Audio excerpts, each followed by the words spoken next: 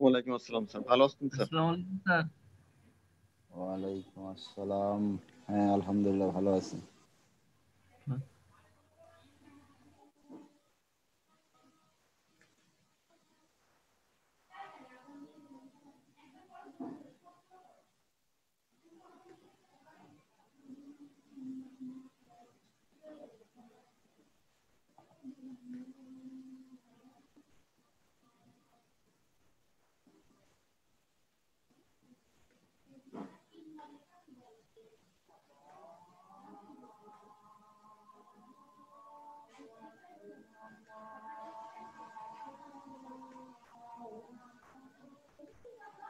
আপনাদের অন্যান্য ক্লাসের কি অবস্থা?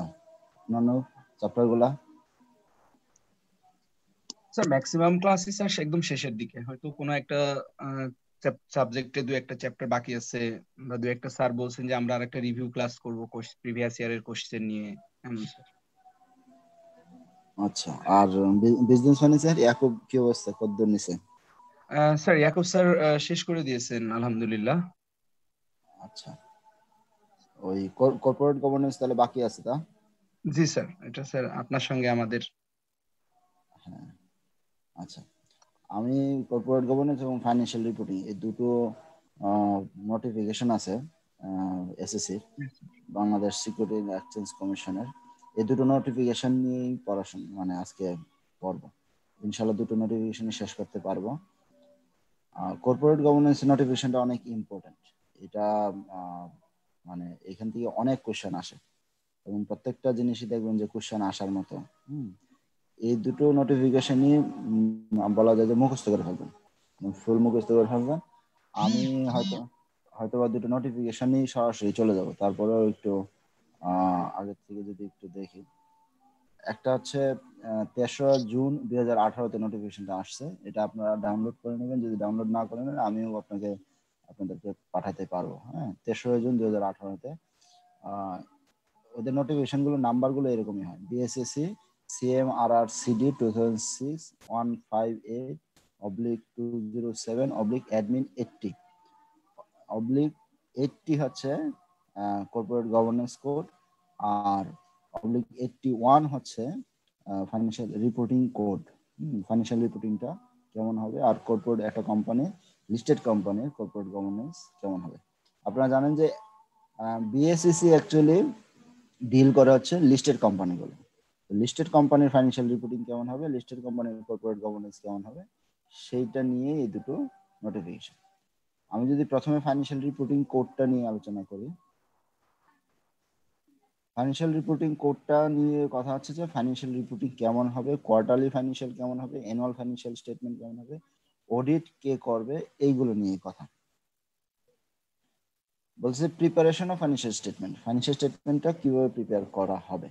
আগে এই জিনিসটা তেসরা জুন দুই আগে নর্মালি প্রাইমারি রেগুলেটর অথবা কোম্পানি অ্যাক্ট এটা ডিল করতো। কিছুটা আইএফআরএস ডিল করতো। কিন্তু এই নোটিফিকেশনে তারা সবগুলো কম্বাইন্ড করে নিয়ে আসছে। কি বলছে? যে ফাইন্যান্সিয়াল স্টেটমেন্টটা যদি অ্যানুয়াল হোক আর ইন্টারিম হোক, এটা প্রিপেয়ার হবে as per SSC rule nineteen eighty seven as well as the accounting international accounting standard international financial reporting standard অনুযায়ী হবে। অ্যাড করেছে কি? যে financial reporting act two thousand fifteen financial reporting act আসছে। এই ফাইন্যান্সিয়াল রিপোর্টিং অ্যাক্ট অনুযায়ী হতে হবে। As case may be, unless otherwise specified in referred rules or other rules related with the issuer issuer of the securities. এই issuer of the securities মানে কোম্পানির primary regulator যদি অন্য কোনো কিছু না বলে থাকে, তাহলে ফাইন্যান্সিয়াল স্টেটমেন্টটা ইন্টারন্যাশনাল অ্যাকাউন্টিং স্ট্যান্ডার্ড এবং ফাইন্যান্সিয়াল রিপোর্টিং অ্যাক্ট অনুযায়ী হবে। এখন ব্যাংকের ক্ষেত্রে বা এনবিএফ এর ক্ষেত্রে সরাসরি বাংলাদেশ ব্যাংক যেহেতু রেগুলেটর প্রাইমারি রেগুলেটর সেইখানে যে ব্যত্যয়গুলো ঘটবে ডিপার্চারগুলো হবে, সেই ডিপার্চারগুলো অ্যালাওয়েবল ডিপার্চার এবং সেটা ফাইন্যান্সিয়াল রিপোর্টিং এ বা ফাইন্যান্সিয়াল স্টেটমেন্টে বলা থাকে যে এই ক্ষেত্রে আমরা ইন্টারন্যাশনাল ফাইন্যান্সিয়াল অ্যাকাউন্টিং স্ট্যান্ডার্ড আমরা ফলো করতে পারিনি। তারপরে যদি অডিটের দিকে যাই অডিট অফ ফাইন্যান্সিয়াল স্টেটমেন্ট কীভাবে অডিট করবে? বলছে যে এসএসসির একটা প্যানেল থাকে, এই প্যানেল অফ অডিটররাই অডিটটা করবে। The company shall get its annual financial statement or higher applicable interim financial statement মানে ইন্টারিম ফাইন্যান্সিয়াল স্টেটমেন্টও অডিট করা যেতে পারে। হ্যাঁ ইন্টারিম ফাইন্যান্সিয়াল স্টেটমেন্টটা যদি অডিট করে, তাহলে কারা অডিট করবে? অডিট ফার্ম আর অডিটর প্যানেল অফ অডিটর যারা কমিশন ডিক্লেয়ার করবে। Time to time commission commission বলতে এখানে বোঝাচ্ছে যে এসএসসি এসএসসি ডিক্লেয়ার করবে।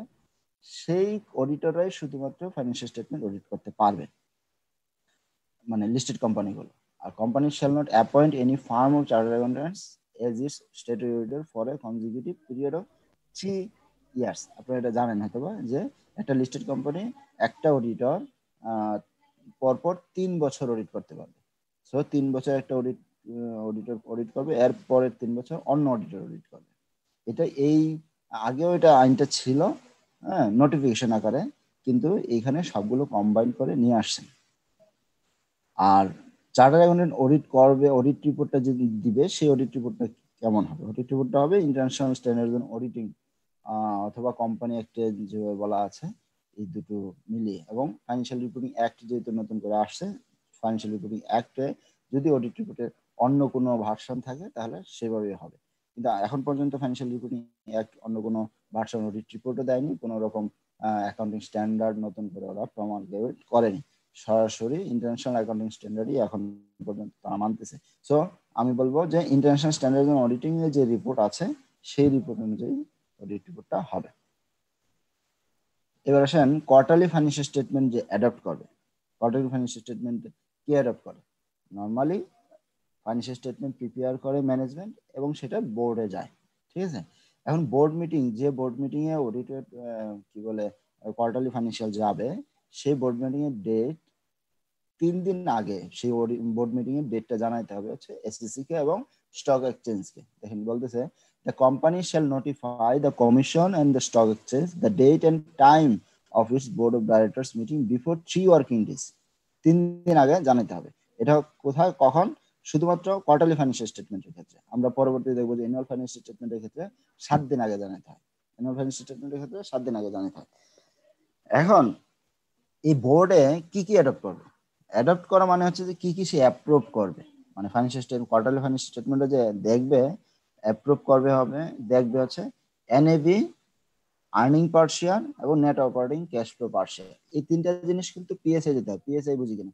Price sensitive information price sensitive ইনফরমেশনটাও deal করে আসলে বিএসএসি বিএসএসি একটা নোটিফিকেশন আছে যে প্রাইস মূল্য সংবেদনশীল। এখন মূল্য সংবেদনশীলের কোনো সংজ্ঞা নাই। ওরা বলছে যে কোম্পানি যেটা মূল্য সংবেদনশীল মনে করে দ্যাট মিনস যে ইনফরমেশনটা তার কোম্পানির শেয়ার প্রাইসে ইফেক্ট ফেলতে পারে, সেটাই মূল্য সংবেদনশীল পিএসআই এই পিএসআইটা দিতে হয় প্রতিটা কোয়ার্টারলি ফাইন্যান্সিয়াল স্টেটমেন্টের ক্ষেত্রে এনএভি আর্নিং পার শেয়ার এবং net operating cash flow per share এবং যদি সে কোনো রকম ইন্টারিম ডিভিডেন্ড দেয়, তাহলে ইন্টারিম ডিভিডেন্ডটাও সে ঘোষণা করতে পারবে। কিন্তু ইন্টারিম ডিভিডেন্ড দিতে গেলে ওই কোয়ার্টারলি ফাইন্যান্সিয়াল বলেন হ্যাঁ মানে ইন্টারিম যে ফাইন্যান্সিয়ালটা হবে, সেটা অবশ্যই অডিটেড হতে হবে। আমরা একটু নিচে দেখি। কিন্তু বলতেছে যে স্টক এবং বোনাস শেয়ার ইন্টারিম হিসেবে স্টক দিতে পারবে না। তাহলে ইন্টারিম ডিভিডেন্ড দিতে গেলে কি দিতে হবে? অবশ্যই তাকে ক্যাশ ডিভিডেন্ড দিতে হবে। Board of director may pay interim dividend to the share holder to be justified by the profit of the company কি বলতেছে? যে আমি যে ইন্টারিম ডিভিডেন্ড দিচ্ছি নর্মালি তো বছর শেষে ডিভিডেন্ড দেওয়া হয়। কিন্তু ইন্টারিম ডিভিডেন্ড যদি দেয়, তাহলে আমার জাস্টিফিকেশনটা এমন থাকবে যে হ্যাঁ কোম্পানিটা প্রফিট করবে। পিরিয়ডিক অডিটেড ফাইন্যান্সিয়াল স্টেটমেন্টের উপর নির্ভর করবে, কিন্তু মানে কোম্পানিটার একটা প্রফিট আসবে। সেই প্রফিট যদি আসার একটা পসিবিলিটি থাকে জাস্টিফিকেশন থাকে, তাহলে সে ইন্টারিম ডিভিডেন্ড দিতে পারবে এবং based on audited financial statement The decision about recommending interim dividend and entitlement of such dividend cannot be changed. তার মানে কি? এই যে interim dividend quarterly board meeting এ অ্যাপ্রুভ হলো, সেটা চেঞ্জ করা যাবে না। একবার যদি ঘোষণা করে, তাহলে তাকে দিতে হবে। এটা হচ্ছে মূল। এরপরে নতুন করে অপশনাল কিছু জিনিস আনছে, যে আপনারা জানেন যে audited financial statement annual audit financial statement যেটা, সেটা এজিএম এ পাস হয় এবং এজিএমটা একটা বিশাল কোলা এটা একটা সকল শেয়ার হোল্ডার নিয়ে কাজটা হয়। যদিও এখন কোভিড সিচুয়েশনে অন্যরকম হচ্ছে ভার্চুয়াল সবকিছু ভার্চুয়াল এজিএম হচ্ছে। তারপরেও কিন্তু সব শেয়ার হোল্ডারদেরকে জানাইতে হয় সব শেয়ার হোল্ডাররা প্রেজেন্ট থাকে। অনেকে হয়তো বা যারা ভার্চুয়ালি আসতে চান আসো। কিন্তু জিনিসটা করতে এই জিনিসটা এখানেও ভার্চুয়ালি ভার্চুয়ালি জিম নিয়ে স্যার একটা কোশ্চেন করব? হ্যাঁ বলেন। স্যার দেখলাম স্যার ওই যে আমাদের অফিসের সামনে মতিঝিল তো। স্যার ওইখানে অনেকগুলো ব্যানার টানিয়ে দিয়েছে ভার্চুয়াল এসিএম বাতিল চাই। স্যার এটা কেন লিখেছে স্যার? আসলে বুঝে উঠতে পারতেছিলাম না স্যার যেটা কেন বাতিল চাচ্ছে বা এটা সুবিধা অসুবিধা কি স্যার? না এক- আপনারা হয়তো বা একসময় দেখে থাকবেন যে এজিএম হইলেই বিস্কিটের প্যাকেট পাওয়া যেত হ্যাঁ বা অনেক খাবার দাবার পাওয়া যেত।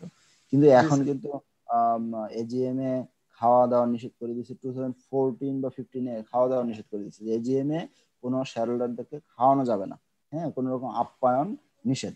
তো এখন আসলে শেয়ার হোল্ডাররা কেন এটা করতেছে? কারণ ভার্চুয়ালিও কিন্তু সে কমেন্ট করতে পারে। বরং আমি মানে ফিজিক্যাল এজিএমও দেখেছি ভার্চুয়াল এজিএমও দেখেছি। তো ভার্চুয়াল এজিএমে একদম স্পেসিফিক্যালি কোশ্চেন করতে পারে। আর ফিজিক্যাল এজিএমে কেওয়াজ হয় বেশি, অনেক লোকজন সমাগম হয়, সেখানে কোশ্চেন করতে পারে না। আসলে এখন এদের মানে শেয়ার হোল্ডারদের এই কিনা তাই না। কেউই আমলে নিচ্ছে না। কারণ এসএসসি যেখানে বলে দিছে যে, এই কোভিড সিচুয়েশনে ফিজিক্যাল এজিএম করা যাবে না। হ্যাঁ ভার্চুয়াল এজিএম করতে হবে। ওদের আসলে দাবিটা এটা মানে বলে জাস্টিফাইড না আর কি কেন করতেছে কারণও আমি, আমার বোধগম্য আসে না। কারণ আপনি প্রত্যেকটা শেয়ারহোল্ডারদেরকে আমরা টাচ করতেছি, প্রত্যেকটা শেয়ারহোল্ডারদেরকেই বলছি যে তার বিও নাম্বার দিয়ে সে এন্ট্রি করে ঢুকবে। হ্যাঁ এখন তার যদি টেকনোলজিক্যাল চ্যালেঞ্জ পিপুল হয় মানে সে ঢুকতে পারে না বা এরকম লোক হতে পারে। মানে অনেকেই তো পানের দোকানদাররাও আজকাল শেয়ার হোল্ডার শেয়ার কেনা বেচা করে। এখন তাদের হয়তো বা ইমেল অ্যাকাউন্ট নাই বা ল্যাপটপ নাই মোবাইল স্মার্টফোন নাই হতে পারে। সেইটা সেটা আসলে কোনো যুক্তি হতে পারে না খোরা যুক্তি হ্যাঁ? এটা আসলে যুক্তি হতে পারে না। তাদের অন্য কোনো ইন্টেনশন আছে কিনা আমি জানি না। স্যার এটা নিয়েই তো স্যার আমাদের শেয়ার মার্কেটে যত কথা স্যার এটা অবশ্য অন্য বিষয় থাক স্যার যে পানের দোকানদাররাও আমাদের শেয়ার মার্কেটে চলে আসছে। হ্যাঁ হ্যাঁ। আচ্ছা ওই যে আপনার আমাদের অফিস আগে ছিল হচ্ছে চব্বিশ তলা বিল্ডিং হ্যাঁ? ওই বক চত্বরের উপরে যে চব্বিশ তলা বিল্ডিং বিডিবিএল বিল্ডিং ওই বিল্ডিং এ ছিল। তো ওইখানের যে সামনে যে পানের দোকানদার, ওনার পোর্টফোলিও শুনে আমি খুবই অবাক হয়েছি। ওনার অনেক মানে বিশাল, অনেক টাকার পোর্টফোলিও উনি খাটায় শেয়ার মার্কেটে তো ওনারা কতটুকু বুঝে বা কিসের বেসিসে ওনারা শেয়ার মার্কেটে ঢুকছে বা কীভাবে ট্রেড করে আল্লাহ জানে। এই যে- এই জন্যই আসলে শেয়ার মার্কেটের অবস্থা হ্যাঁ? সবাই যদি বুঝে শেয়ার কেনা বেচা করতো তাহলে শেয়ার মার্কেটে এই অবস্থা হতো না। ওনারা একটা যে কোনো একটা ইনফরমেশনের ভিত্তিতে দৌড়াদৌড়ি করে লাফালাফি করে। হয়তো ইনফরমেশনটা ফাইন্যান্সিয়াল ইনফরমেশন নাও হতে পারে হ্যাঁ? আমার খুব দিব্যি মনে আছে যে ব্যাংক শেয়ার একটা আইসিবি বিল্ডিং এর সামনে মানে কারণ বাজারের যে ফোয়ারাটা আছে ফোয়ারাটার পাশে ব্যাংক শেয়ার একটা স্পেস ছিল। স্পেসটা কেনার আগে হ্যাঁ ব্যাংক স্পেসটা কিনবে হ্যাঁ সেই জন্য তোমার শেয়ার শেয়ার মার্কেটের প্রাইস বাড়ছিল। আসলে তখন স্পেসটা হয়নি তারপরে পরবর্তীতে হয়েছে অবশ্য, কিন্তু তখন পর্যন্ত হয়নি। তখনই শেয়ার মার্কেটের প্রাইস বাড়ছে। তো ইটস নট মানে এই ধরনের ইনফরমেশনে শেয়ার মার্কেটের প্রাইস বাড়ে। তারপরে যে মনে করেন বেক্সিমকো বেক্সিমকো গভর্নমেন্টের সাথে কন্ট্যাক্ট হয়েছে। এতেই শেয়ার মার্কেট বাড়তেছে। এই আর কি মানে আসলে আমাদের ইনভেস্টররা অনেক সময় এবং এটা, এটার এটার বেনিফিটটা নেয়, অনেকে এটার বেনিফিটই নেয় যে একটা ইনফরমেশন দিয়ে দেয় সকালবেলা হ্যাঁ ওই দিন শেয়ার মার্কেট অনেক ভালো হয়, পরবর্তীতে হয়তো ইনফরমেশনটা এতটা অথেন্টিক না। হম, এইসব প্রপাগান্ডা ছড়ায়ও অনেক সময় শেয়ার মার্কেটের দাম বা ওঠানো হয়। দেখ আমরা ওইদিকে না- যাই, দেশটাই অবস্থা। আচ্ছা। The decision about recommending inter individual inter এটা হ্যাঁ চেঞ্জ করা যাবে না। আচ্ছা এখন বলতেছে যে কোয়ার্টারলি ফাইন্যান্সিয়াল স্টেটমেন্টও আপনি এজিএম এর মতো করে একটা কনফারেন্স করতে পারেন। একটা কনফারেন্স করে আপনি কোয়ার্টারলি ফাইন্যান্সিয়াল স্টেটমেন্টে সেন্সিটিভিটি বলেন বা আপনার স্টেক হোল্ডারদেরকে মত বিনিময় করতে পারেন। কিন্তু বলতেছে যে এইটা অবশ্যই আপনাকে সাত দিন পরে করতে পারবেন না not later than seven days মানে যত তাড়াতাড়ি সম্ভব, কিন্তু not later than seven days আপনি এই কনফারেন্স কলটা করবেন না। আচ্ছা এই কনফারেন্স কলে কারা প্রেজেন্ট থাকবে? চেয়ারম্যান এমডি সিএফও এবং হেড অফ ইন্টারনাল অডিট হ্যাঁ? সে আপনার এখানে প্রেজেন্ট থাকবে, এই চারজন। Chairman MD CFO head of internal audit আর এই কনফারেন্স কল করার তিন দিন আগে আপনাকে এসএসসি এবং স্টক এক্সচেঞ্জকে জানাতে হবে। Before three days of holding search conference company shall inform B S S C and stock exchange and immediately publish search notice in the to circulate একটা বাংলা এবং একটা ইংরেজি। এই দুটো পত্রিকায় দিতে হবে এবং অনলাইন নিউজ পোর্টালেও দিতে হবে। আমরা, আমার মনে হয় সরাসরি আমরা যদি ইয়াতে চলে যাই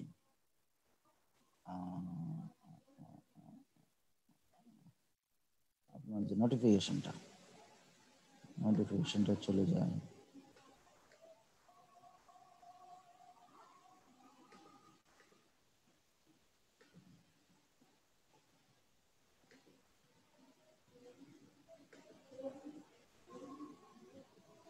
দেখা যাচ্ছে নোটিফিকেশনটা ইয়েস স্যার দেখা যাচ্ছে স্যার হ্যাঁ এই সেই নোটিফিকেশন হ্যাঁ? নোটিফিকেশনটা আসছে আছে বিশ বিশে June two thousand eighteen twenty June two thousand eighteen এই হচ্ছে নোটিফিকেশন নাম্বার এসএসসি সব নোটিফিকেশন দেখবেন power conferred by two CC হ্যাঁ? সেকশন টু সিসির পাওয়ারে তারা নোটিফিকেশনটা গুলো দেয়। আমরা এটা পড়েছি প্রিপারেশন অফ ফাইন্যান্সিয়াল স্টেটমেন্ট কীভাবে সে প্রিপেয়ার করবে একটা financial statement auditing financial statement দুটো একটু বাড়াই একশো চব্বিশ একশো পঁচিশ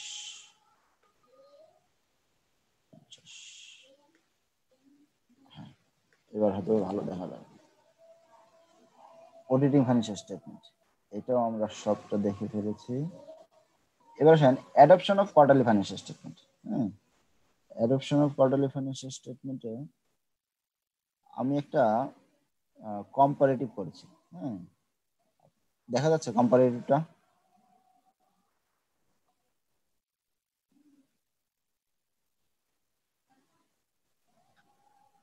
yes sir adaptation of quarterly financial statement না না। এটা স্যার এটা এটা কম্পারেটিভ স্যার ডিএসসি আর বিএসসিসি হ্যাঁ হ্যাঁ। আচ্ছা। হ্যাঁ এটা আপনার ডিএসসি রেগুলেশন টু একটা ডিএসসি লিস্টিং রেগুলেশন বলে এটাকে। লিস্টিং রেগুলেশন সেটার অনেকগুলো আইটেম এখান থেকে কাভার করছে হ্যাঁ মানে আগে এগুলো ছিল কিছুটা, এগুলো আবার নতুন করে আসছে। যেমন প্রিপারেশন ফাইন্যান্সিয়াল স্টেটমেন্টে হ্যাঁ আগে বলা ছিল শুধু অ্যাজ পার আইএফআরএস এখন ফাইন্যান্সিয়াল রিপোর্টিং অ্যাক্ট আনছে। মেকিং অডিট রিপোর্ট এটা আগে আইসা এবং সিকিউরিটিজ ল ছিল, সেটাও ফাইন্যান্সিয়াল রিপোর্টিং অ্যাক্ট নতুন করে নিয়ে আসছে। ইনএজিবিলিটি অফ দ্য অডিটরস অডিটররা মানে অডিট করতে পারবে না কারা হ্যাঁ সেখানে আগে শুধু ছিল এসএসসি রুলস নাইনটিন সেভেনের একটা সাব রুল বলা ছিল। এখন কোনো অডিটরের এগেনস্টে আইসিএবি যদি ডিসিপ্লিনারি অ্যাকশন নেয় বা এফআরসি যদি কোনো ডিসিপ্লিনারি অ্যাকশন নেয়, তাহলে সে অডিট করতে পারবে না। আগে ইন্টারিম অডিট নিয়ে ডিএসসি লিস্টিং রেগুলেশনে কোনো কিছু বলার ছিল না। এখন ইন্টারিম ডিভিডেন্ড দিতে পারবে। কিন্তু সেটা financial statement should be audited আমরা দেখেছি। এখন কনফারেন্সটা ডিএসসি লিস্টিং রেগুলেশন ছিল না, এখন সেটা আসছে কিন্তু এটা অপশনাল আর পাবলিকেশন অফ ফাইন্যান্সিয়াল স্টেটমেন্ট আগেও এটা ছিল যে দুইটা ওয়াইডলি সার্কুলার ন্যাশনাল ডেইলি একটা বাংলা, একটা ইংরেজি দিতে হবে। এইবার নতুন করে আনছে যে অনলাইন ডেইলি নিউজ সাইটেও দিতে হবে। Disclosure of quarterly financial statement সম্পর্কে ডিএসসি লিস্টিং কিছু ছিল না। এটা এখন নতুন করে একটা জিনিস আনছে যে আপনার ডিটেল ব্রেকআপ শেয়ার হোল্ডার ইকুইটির ডিটেল ব্রেকআপটা আপনার শেয়ার হোল্ডারকে জানাতে হবে যে আপনি আপনার ইন্ডিভিজুয়াল শেয়ার হোল্ডার কতজন, আপনার কর্পোরেট শেয়ার হোল্ডার কতজন হ্যাঁ এইগুলো আপনাকে জানাতে হবে। এবং আপনি কবে শেয়ার ইস্যু করেছেন, কখন রাইট দিয়েছেন রাইট ইস্যু মানে এই শেয়ার তো বিভিন্ন ধরনের ইস্যু হয়, আপনি সরাসরি প্রি আইপি আইপিওতে আসতে পারেন বা রাইট ইস্যু করে আনতে পারেন, এই ডিটেল ব্রেকআপটা লাগবে। এবং আমি বলেছি যে NAV EPS N net operating cash flow per share NOCFPS আপনাকে ডিসক্লোজ করতে হবে। Submission of annual financial statement সেটা আগে ছিল হচ্ছে উইদিন ওয়ান টোয়েন্টি ডেজ এখন ওয়ান টোয়েন্টি ডেজ বলছে the commission may on good cause shown on only under extreme circumstance extend the time হ্যাঁ এই সময়টা বাড়াইতেও পারে। এটা আগে ছিল না, এখন সেই সময়টা বাড়ানোর একটা স্কোপ আনছে। ডিসক্লোজার ফাইন্যান্সিয়াল স্টেটমেন্ট এটা দেখলাম ডিক্লারেশন অফ স্টক ডিভিডেন্ড হ্যাঁ। এক্সপ্লেইন করতে হবে আপনাকে, যদি আপনি স্টক ডিভিডেন্ড ডিক্লেয়ার করেন, এবং এটা কীভাবে ইউটিলাইজ করবেন সেটা। কারণ স্টক ডিভিডেন্ড আপনি তো শুধু শেয়ারটা নিয়ে বাড়াচ্ছেন, কিন্তু কোনো ধরনের টাকা তো দিচ্ছেন না। তার তার মানে আপনাকে আপনার রিটার্নিংসটা আপনার কাছে থেকে যাচ্ছে।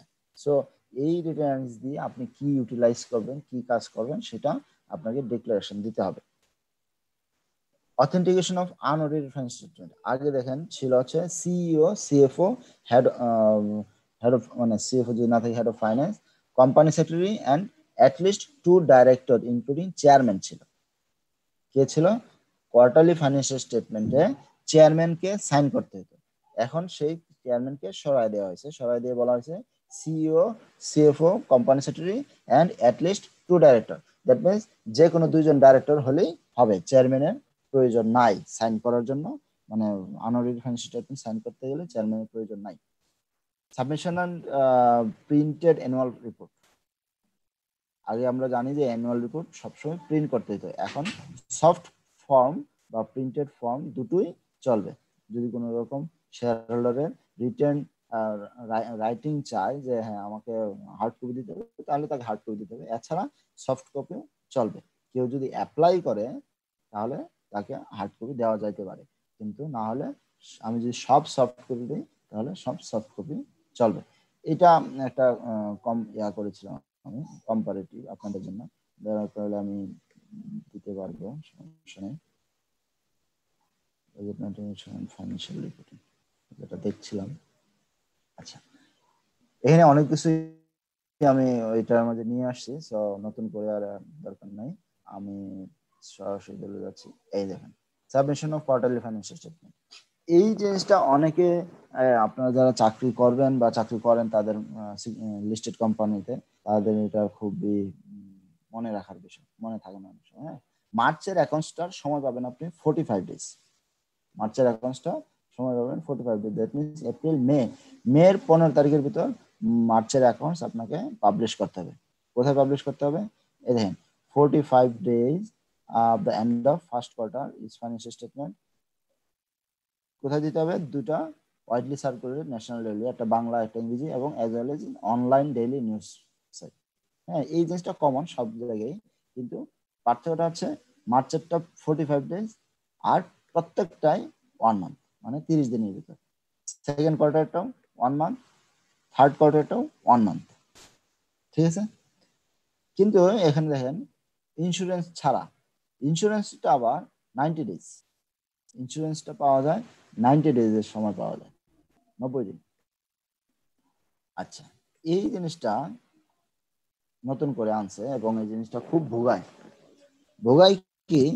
আমি বলি আপনাকে যে ডিসেম্বরের ফাইন্যান্সিয়াল স্টেটমেন্ট কে আপনার যে ইপিএস আছে এনএবি আছে নেট অপারেটিং ক্যাশ ফ্লো আছে, এটা যদি সিগনিফিকেন্ট ডেভিয়েশন হয় ইন মার্চ অথবা মার্চ থেকে জুনে জুন থেকে সেপ্টেম্বরে এই যে কোয়ার্টার কোয়ার্টার টু কোয়ার্টার যে সিগনিফিকেন্ট ডেভিয়েশন হয়, তাহলে আপনাকে অবশ্যই সেটার রিজন বলতে হবে। প্যারামিটারগুলো, প্রত্যেকটা প্যারামিটার ধরে ধরে ফাইন্যান্সিয়াল স্টেটমেন্টে আলোচনা করতে হবে। এটা ব্যাংকের ক্ষেত্রে খুব বেশি মানে ইফেক্ট হয়। কেন? কারণ আপনি কোনো কোনো সময় আপনার প্রভিশন আপনি একটা পার্সেন্টেজে রাখছেন অথবা কোনো সময় আপনি লোন বেশি দিচ্ছেন ডিপোজিট কম আনছেন অথবা কখনো কখনো কখনো আপনি ডিপোজিটের মাত্রাটা বেশি, সেক্ষেত্রে আপনার ক্যাশ ফ্লোতে কিন্তু ইফেক্ট হয়। হ্যাঁ পজিটিভ ভেবেটা হয়, অনেক সময় নেগেটিভ ভেবেটা হয়। দেখা যাচ্ছে আপনি যে পরিমাণ ডিপোজিট আনছেন, তার থেকে বেশি পরিমাণ লোন দিয়েছেন। গ্রোথটা গ্রোথটা লোনের গ্রোথটার থেকে ডিপোজিটের গ্রোথটা কম, সেক্ষেত্রে কিন্তু আপনার নেগেটিভ ক্যাশ ফ্লো চলে আসতে পারে। এই নেগেটিভ ক্যাশ ফ্লো আর আগের কোয়ার্টার থেকে এই কোয়ার্টারে কেন নেগেটিভ ক্যাশ ফ্লো আসলো সেটা কিন্তু বলতে হবে। হতে পারে। এটা বিজনেস পার্সপেক্টিভে আমার দেখা যাচ্ছে এই এই কোয়ার্টারে আমি ডিপোজিট ক্যাম্পেইন কম করেছি অথবা কাস্টমার আমাকে ডিপোজিট উজ্জ্ব করেছে বেশি। আর লোনের পরিমাণটা যদি আমি স্টিডিও রাখি, তাহলে লোনের পরিমাণের সাথে ডিপোজিটের গ্রোথটা ভেরিয়ে বেশি ভেরি করে বলে আমার ক্যাশ ফ্লোটা নেগেটিভ চলে আসতে পারে। কিন্তু এটা নিয়ে এসএসসি ডিএসসি আর চিঠি চালাচালি করে অনেক প্রেশারাইজ করে যে আপনার নেগেটিভ ক্যাশ ফ্লো কেন চলে আসছে। কিন্তু নেগেটিভ ক্যাশ ফ্লো আসছে কিন্তু মানে ক্যাশ ফ্লোর সাথে যে আমার প্রফিট যে এটা মিসম্যাচ থাকে বা একটা কি বলে ডিসিমিলারিটি আমরা বলি। আপনি এটা গুগল সার্চ করলে পাবেন যে আমার ক্যাশ ফ্লো আর প্রফিটেবিলিটি দুটো, দুই জিনিস হ্যাঁ। এই দুটো ট্রেড অফ করাটাই কিন্তু ম্যানেজমেন্টের একটা চ্যালেঞ্জ দুটোকে ট্রেড অফ করতে হবে যে আমার ক্যাশ ফ্লো কি অবস্থা এবং মানে লিকুইডিটির কি অবস্থা এবং আমার প্রফিটেবিলিটি কি অবস্থা। দেখেন, আমার ক্যাশ ফ্লো খারাপ হচ্ছে, আমি যদি লোনের গ্রোথটা বেশি দেই, কিন্তু লোনের গ্রোথ বেশি হওয়াতে আমার কিন্তু প্রফিটেবিলিটি ভালো হতে পারে। প্রফিটেবিলিটি ভালো হতে পারে যদি আমি আমি ভালো জায়গায় লোন দেই এবং রেটটা যদি ভালো থাকে। ঠিক আছে? আবার আমি যদি ডিপোজিটের গ্রোথ বেশি হয়, তাহলে আমার ক্যাশ ফ্লো ভালো আসতেছে, আমি ক্যাশ পাচ্ছি এবং সেই ক্যাশটার কিন্তু ইফেক্ট করতেছে আমার ডিপোজিট পাইলে আমার কিন্তু ইন্টারেস্ট এক্সপেন্সটা বাড়ে। সো আমার এনআইআই নেট ইন্টারেস্ট ইনকাম কিন্তু কমে যায়। ঠিক আছে না? এইগুলো বুঝায়া এসএসসি কে এবং ডিএসসি কে আমাদেরকে মানে বলা যায় যে প্রতি কোয়ার্টারে বিভিন্ন এক্সপ্লেনেশন দিতে হয়। এক্সপ্লেনেশন কেন দিতে হয়? কারণ তারা এই নোটিফিকেশনে বলে দিছে যে, provided that in case of significant deviation in any parameter between the quarterly periods the company shall provide reason therefore. হ্যাঁ এই ক্ষমতায় তারা এই লাফালাফিটা করে।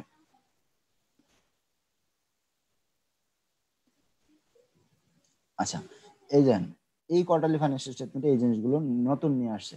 আগে এগুলো ছিল না। আগে কোয়ার্টারলি ফাইন্যান্সিয়াল স্টেটমেন্ট কনডেন্স শব্দটা মনে রাখবেন। Condensed financial statement quarterly financial statement হয় হচ্ছে বড় জোর দশ পেজের হ্যাঁ মানে আপনি ফাইন্যান্সিয়াল স্টেটমেন্ট বাদে আর চার পাঁচটা পেজ থাকে নোট বেশি নোট থাকে না। হ্যাঁ balance sheet PNL cash flow এবং চেঞ্জ ইন ইকুইটি এই চারটা বাদে বাকি থাকে হচ্ছে আপনার খুবই কম আপনার নোট নোট থাকে। কিন্তু তারা স্পেসিফিক করে দিয়েছে যে এই নোটগুলো আপনার থাকতে হবে। Detail breakup of composition shareholders equity paid of capital share premium number of ordinary share face value কত ডেট অফ ইস্যু কবে ইস্যু করেছি প্রেফারেন্স শেয়ার কবে ইস্যু করেছি নাম্বার অফ রেফারেন্স শেয়ার এই সবগুলো আমার বলতে হয় এখানে। ইভেন কখনো কখনো তারা ডেফার ট্যাক্সের নিয়েও কোশ্চেন করে যে আপনি ডেফার ট্যাক্সটা ডিটেলস বলেন। কিন্তু ডেফার ট্যাক্স অ্যাকচুয়ালি ডিটেলস বলার কোনো নোটিফিকেশন তারা দেয় নাই। কিন্তু গায়ের জোরে তারা বলে।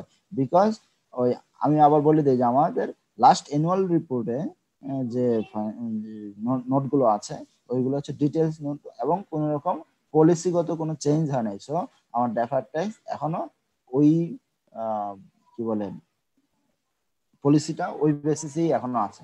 সো ওইভাবে বলতে হয়। কিন্তু তারা এই নোটিফিকেশনে যতটুকু বলছে, আমরা এতটুকু মানে কমপ্লাই করতেই হবে।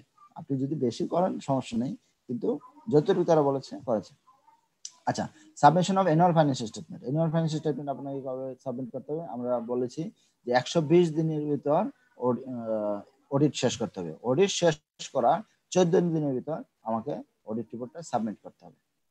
Annual financial statement of the company accept life insurance company shall be audited within one twenty days from the date on which the company financial statement মানে ডিসেম্বর যদি শেষ হয়, আমাদের ব্যাংক যেহেতু ডিসেম্বরে শেষ হয় ডিসেম্বরে একশো বিশ দিনের ভিতর শেষ করতে হবে। এবং কবে আপনাকে সাবমিট করতে হবে? ফোরটিন ডেজের ভিতর কমিশনকে দিতে হবে।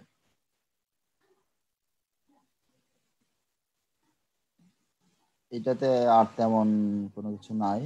এই যে আমি বলছিলাম সেভেন ডেজ কোয়ার্টারলি ফাইন্যান্সিয়াল স্টেটমেন্টের সেক্ষেত্রে বোর্ড মিটিং এর তিন দিন আগে কমিশনকে জানাতে হয় বলেছি। আর অ্যানুয়াল ফাইন্যান্সিয়াল স্টেটমেন্টের ক্ষেত্রে সাত দিন আগে কমিশনকে জানাতে হবে। The company shall notify the commission and the stock exchange in advance the date and time of its board of directors meeting, especially call for মানে এগুলো হাজিবাজি কথা। মূল কথা হচ্ছে আপনি জানবেন যে seven days of the holding search meeting আমাকে বোর্ডকে জানাতে হবে। একটা হচ্ছে তিন দিন, একটা হচ্ছে সাত দিন, মনে রাখবেন। আমার যেন কোনো ভুল না হয়।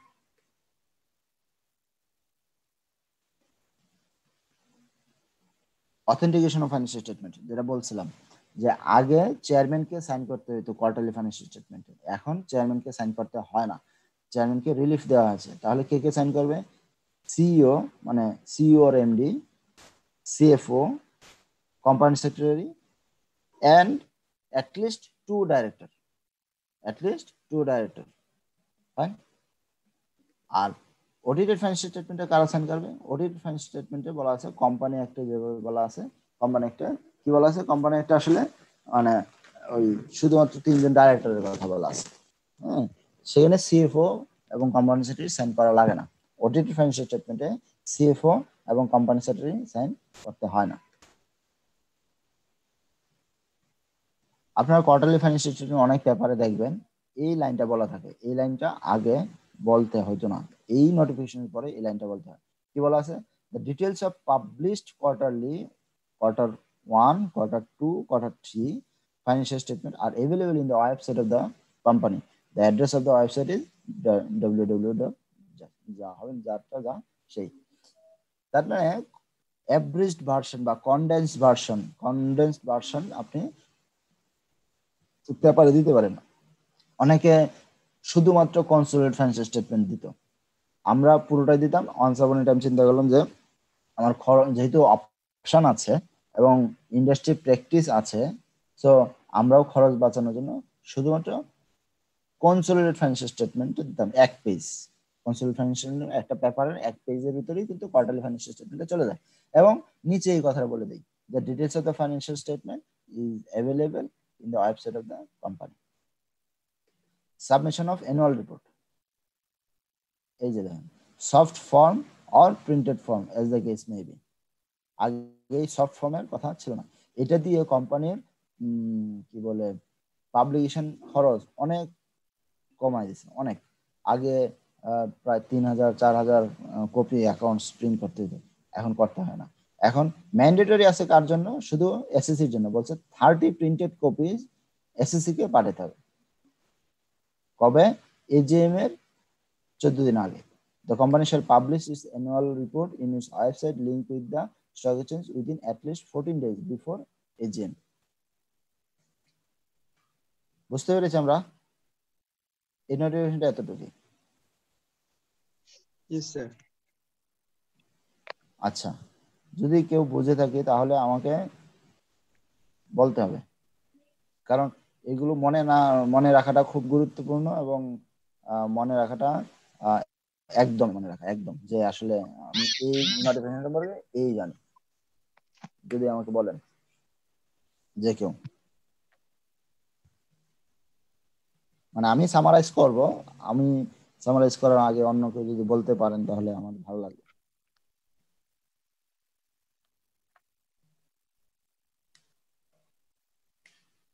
আমি করব। যদি হাতে খাতা কলম থাকে তাহলে ভালো। সেটা হচ্ছে আপনি একটু সামারাইজ করেন স্যার আমরা একটু লিখে নিই স্যার। হ্যাঁ। সামারাইজটা হচ্ছে যে ফাইন্যান্সিয়াল রিপোর্টিং এর নোটিফিকেশনটা বিশে জুন দুই সালে আসছে। একটা কথা। এখানে বলা আছে যে ফাইন্যান্সিয়াল স্টেটমেন্টটা কীভাবে প্রিপেয়ার হবে। নতুন করে আনা হয়েছে যে ফাইন্যান্সিয়াল রিপোর্টিং অ্যাক্ট অনুযায়ী হবে। আচ্ছা এটা বুঝতে পারিনি স্যার আবার একটু ফাইন্যান্সিয়াল রিপোর্টিং অ্যাক্ট 2015 অনুযায়ী ফাইন্যান্সিয়াল স্টেটমেন্টটা হবে। ফাইন্যান্সিয়াল রিপোর্টিং অ্যাক্ট 2015 আগে ছিল এসএসসি রুল 1987 এবং ইন্টারন্যাশনাল ফাইন্যান্সিয়াল রিপোর্টিং স্ট্যান্ডার্ডস এবং ইন্টারন্যাশনাল অ্যাকাউন্টিং স্ট্যান্ডার্ডস মানে আইএস আইএফআরএস অনুযায়ী। আর নতুন করে আসছে international financial reporting act FRC. চালু হয়েছে স্যার? হ্যাঁ রে ভাই এফআরসি চালু হয়েছে না মানে? এটার দৌড়ানো যে বিডি লস স্যার যে ইয়েটা আছে ম্যানুয়ালটা আছে সেখান থেকে স্যার ওটা ডাউনলোড দিয়ে একটু পড়তেছিলাম। তো ওখানে স্যার আবার লেখা রয়েছে যে ইমপ্লিমেন্ট অ্যাজ সুন অ্যাজ না না এটা চালু হয়েছে। চালু হয়ে গেছে ওরা হয়তো প্রথম যখন ল আপডেট দিয়েছিল তখন লিখে রেখেছিল কিন্তু ওইটা ওইভাবে এখনও লেখা রয়েছে। হ্যাঁ হ্যাঁ। এটার দৌড়ানোতেই তো এখন মনে করেন খোদ আইসিবিও দৌড়াচ্ছে অন্যান্য কোম্পানি কোম্পানিগুলো দৌড়াচ্ছে। মানে FRC is is not too much strong but they are actually influential party আসলে যদি এফআরসি থাকে তাহলে আসলে এফআরসি যদি সেভাবে কাজ করে সবার জন্যই ভালো হবে। মানে অল ওভার প্রফেশনের জন্যই ভালো হবে। আপনারা ওই ইয়াতে বিজনেস ফাইন্যান্স এই একটা চ্যাপ্টার আছে সেলফ রেগুলেশন আছে না?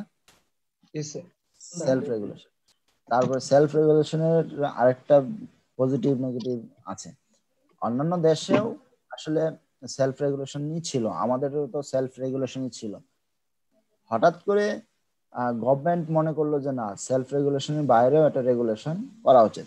সো এই যে আইসিএবি এবং আইসিএমবি এদের উপরে আরেকটা গভর্নমেন্ট বডি চলে আসছে, সেটা হচ্ছে এফআরসি এফআরসি আসার সময় অনেক বিতর্ক হয়েছে বা অনেক এটা নিয়ে অনেক আলোচনা হয়েছে, কিন্তু আলটিমেটলি এফআরসি এসেছে। তো এফআরসি যেহেতু চলে আসছে সো এটাকে পজিটিভলি নেওয়াটাই আমাদের সবার জন্য ভালো। মানে আপনার নিজের যে সেলফ রেগুলেশন আপনি ভালো করে চলবেন, সত্য কথা বলবেন, ভালো পথে চলবেন হ্যাঁ ইয়া করবেন না। সো আপনার থেকে আপনার উপরে একজন বসানো হয়েছে, আপনার বাবা মা হতে পারে বা আপনার কোনো বড় ভাই হতে পারে, তাদেরকে একজনকে বসানো হয়েছে যে আপনাকে দেখভাল করবে। সো এতদিন আপনি সেলফ রেগুলেশন করেছেন সেলফ রেগুলেশন করে দেখা গেছে না, অনেক কিছুই ব্যত্যয় ঘটেছে হ্যাঁ অনেক কিছুই উল্টাপাল্টা হয়েছে। তো এখন এফআরসি বসাতে হয়তো বা দেখা যাবে যে এগুলো হচ্ছে না। এবং আপনারা খবর পেয়ে থাকবেন এফআরসি আসার পরে অলরেডি আমরা আমরা নিউজ পাই কিছু তো নিউজ পাই কিছু নিউজ পাই না। অলরেডি দুই তিনটা ফার্মের এনলিস্টমেন্টও বাতিল হয়েছে অডিট করতে পারবে না হ্যাঁ অথবা লিস্টেড কোম্পানি অডিট করতে পারবে না এরকম অলরেডি কিন্তু কি বলে নোটিশ দেওয়া হয়েছে। স্যার এই যে ডিবিসিটা হলো স্যার ডিবিসিটা কি স্যার এই এফআরসির মাধ্যমেই স্যার প্রস্তাবনাটি কি এফআরসি ছিল? ওইটা না ওইটা ওইটা পুরোপুরি আইসিবি করেছে। তবে এফআরসি ইনফ্লুয়েন্স ছিল হ্যাঁ এফআরসি এটা একটা পার্টি একটা স্টেক হোল্ডার কিন্তু এটা আইসিবি নিজ সহ উদ্যোগেই করেছে। এটাও হয়তো অনেক ভালো হবে অনেক ভালো হবে। স্যার এফআরসি তো দুইজন চার্টার্ড অ্যাকাউন্টেন্ট নিয়োগ দিয়েছে অ্যাকাউন্ট মনিটরিং করার জন্য। সার্কুলার দেখলাম কিছুদিন আগে। এফআরসি আমি যদি আপনার এফআরসিটা পড়ছেন মানে এফআর এটা ফাইন্যান্সিয়াল রিপোর্টিং একটা পড়েছেন স্যার একটা একটু পড়েছি মানে ইয়েগুলো পড়েছি স্যার মানে একদিক দিয়ে নামগুলো পড়েছি হেডলাইনগুলো পড়েছি ভিতরে পড়া হয়নি স্যার এখন এফআরএ কিন্তু অনেক শক্তিশালী একটা আইন। হ্যাঁ হ্যাঁ স্যার আমি সংগঠন দেখলাম যে কে কে সদস্য হবে কতদিন চেয়ারম্যান থাকবে কারা কারা সদস্য বোর্ডে থাকতে পারবেন কার পাওয়ার কি পরিমাণ থাকবে সেটা পড়ছি স্যার সেখানে তো হিউজ থাকছে। অর্থ মন্ত্রণালয় বাণিজ্য মন্ত্রণালয় দুটো মন্ত্রণালয় থেকেই দুইজন অতিরিক্ত সচিব থাকবেন। আইসিএমএ তারপরে স্যার যে আমাদের সিএ তিনরাও থাকবেন, সব সভাপতিরা থাকবেন। ওরা কিন্তু আপনার ইয়াও করতে পারবে। কি বলে? আপনার স্ট্যান্ডার্ড আনতে পারবে। ওরা আপনার কি বলে? অডিট রিপোর্ট দিতে পারবে। আলাদা অডিট রিপোর্ট দিতে পারবে। মানে ক্ষমতা অনেক রেখে দিছে এখন সেই ক্ষমতা ইমপ্লিমেন্ট করবে কি ওইখানে দুটো তিনটা পার্ট আছে। স্ট্যান্ডার্ড কমিটি পার্ট আছে অডিটের আমরা যা অডিট করি ফার্মগুলো এই অডিটগুলোর আবার অডিট দেখতে পারবে হ্যাঁ? এরকম অনেক ক্ষমতায় আমাদের দেওয়া আছে। আচ্ছা তাহলে যেটা বলতেছিলাম সামারাইজ ফাইন্যান্সিয়াল রিপোর্ট কেমনে আপনি ফাইন্যান্সিয়াল স্টেটমেন্ট প্রিপেয়ার করবেন? আচ্ছা অডিট কীভাবে করবেন? অডিট করবে হচ্ছে কমিশনের যে প্যানেল আছে সেই প্যানেল অডিটররা অডিট করবে। এবং সিকিউরিটিজ এক্সচেঞ্জ কমিশন ধরো লিস্টেড কোম্পানির অডিট একজন অডিটর পরপর তিন বছরের বেশি করতে পারবে না। ঠিক আছে? অডিটর যদি কোনো রকম misconducted by ICAB or FRC যদি কোনো মিস ডিসিপ্লিনারি অ্যাকশন পেয়ে থাকে তাহলে সেই অডিটর গিয়ে দিয়ে আপনি অডিট করাতে পারবেন না। অডিট রিপোর্টটা কেমন হবে? অডিট রিপোর্টটা হবে ফাইন্যান্সিয়াল রিপোর্টিং অ্যাক্ট এবং ইন্টারন্যাশনাল স্ট্যান্ডার্ডস অন অডিটিং অনুযায়ী হবে। ঠিক আছে? এবার আসেন আপনি কি বলে? প্রিপারেশন চলে গেল অডিটিং চলে গেল। এবার adaptation of quarterly financial statement quarterly financial statement adapt করবে কোথায়? বোর্ড বোর্ডে অ্যাডাপ্ট করবে। বোর্ড কোয়ার্টারলির বোর্ড আপনার বোর্ড মিটিং এর তিন দিন আগে এসএসসি এবং স্টক এক্সচেঞ্জ এই দুজনকে জানাতে হবে। এসএসসি এবং স্টক এক্সচেঞ্জ কবে? তিন দিন আগে জানাতে হবে। এখন board quarterly financial statement adapt করতে গিয়ে কি কি সে দেখবে? ফাইন্যান্সিয়াল স্টেটমেন্ট পুরোটাই দেখবে, কিন্তু পিএসআই এর ক্ষেত্রে NAV net asset value EPS এবং net operating cash flow per share দেখবে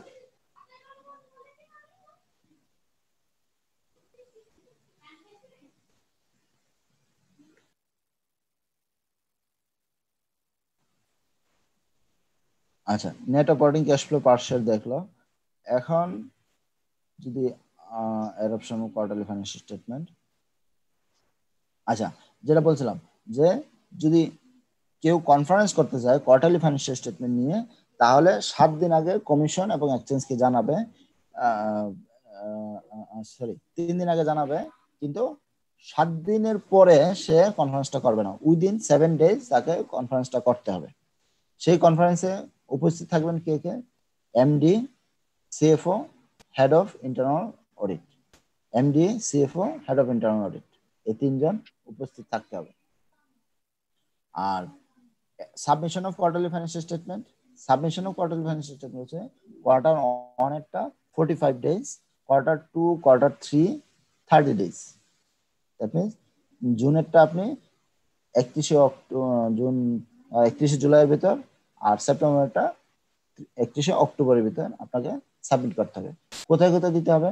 দুইটা ন্যাশনাল ডেইলিজ একটা news portal online news portal এগুলোতে দেওয়া লাগবে। এবার আসেন annual financial statement annual financial statement adopt করতে গেলে সেভেন ডেজের নোটিশ দিতে হবে। সাত দিন আগে কমিশন এবং এক্সচেঞ্জকে জানাতে হবে। কতদিনের ভিতর অ্যাকাউন্টসটা পাবলিশ করতে হবে? বলছে একশো বিশ দিনের ভিতর অডিট শেষ করতে হবে এবং অডিট শেষ হওয়ার চোদ্দ দিনের ভিতরে আপনাকে কমিশন এবং এক্সচেঞ্জে অ্যাকাউন্টসটা পাঠাতে হবে। সেটাও আপনার ন্যাশনাল ডেইলিজে দুটো ন্যাশনাল ডেইলিজে দিতে হবে। কিন্তু পার্থক্যটা আছে কোয়ার্টারলি ফাইন্যান্সিয়াল স্টেটমেন্ট আপনার অনলাইনে দিতে হয় অডিট ফাইন্যান্সিয়াল স্টেটমেন্টে অনলাইনে দেওয়ার কোনো অপশন নাই। দেখবেন?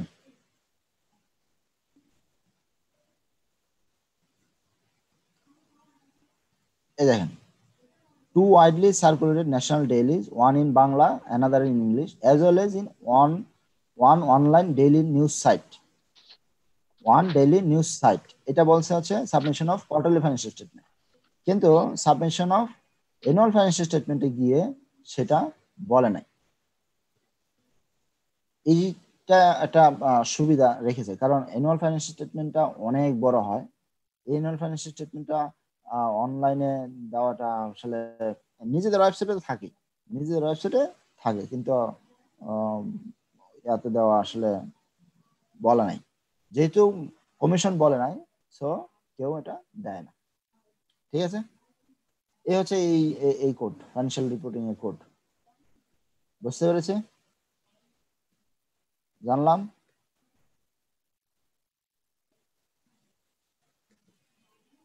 হ্যালো হ্যালো হ্যাঁ। স্যার আচ্ছা আমরা এফআরএ নিয়ে কথা বলছিলাম না? জি স্যার স্যার একটা দুঃসাহসিক কোশ্চেন করব স্যার করেন না ভাই যদি আমি শিখতে পারি কিছু। জি স্যার স্যার আবার রেকর্ডিংটা পজ করতে পারতেছি না হোস্ট নেই। কোশ্চেন করা ঠিক হবে কিনা? বলছি স্যার এফআরসি আবার দুই দিন পরে স্যার ট্যাক্স অফিসের মতো হয়ে যায় যদি স্যার তাহলে তো আর দুঃখের কোনো শেষ নেই। না ওইটা আমরা আশা করছি না বিকজ স্যার আমরাও আশা করি ইনশাল্লাহ ভালো হবে। না এফআরসি তে আসলে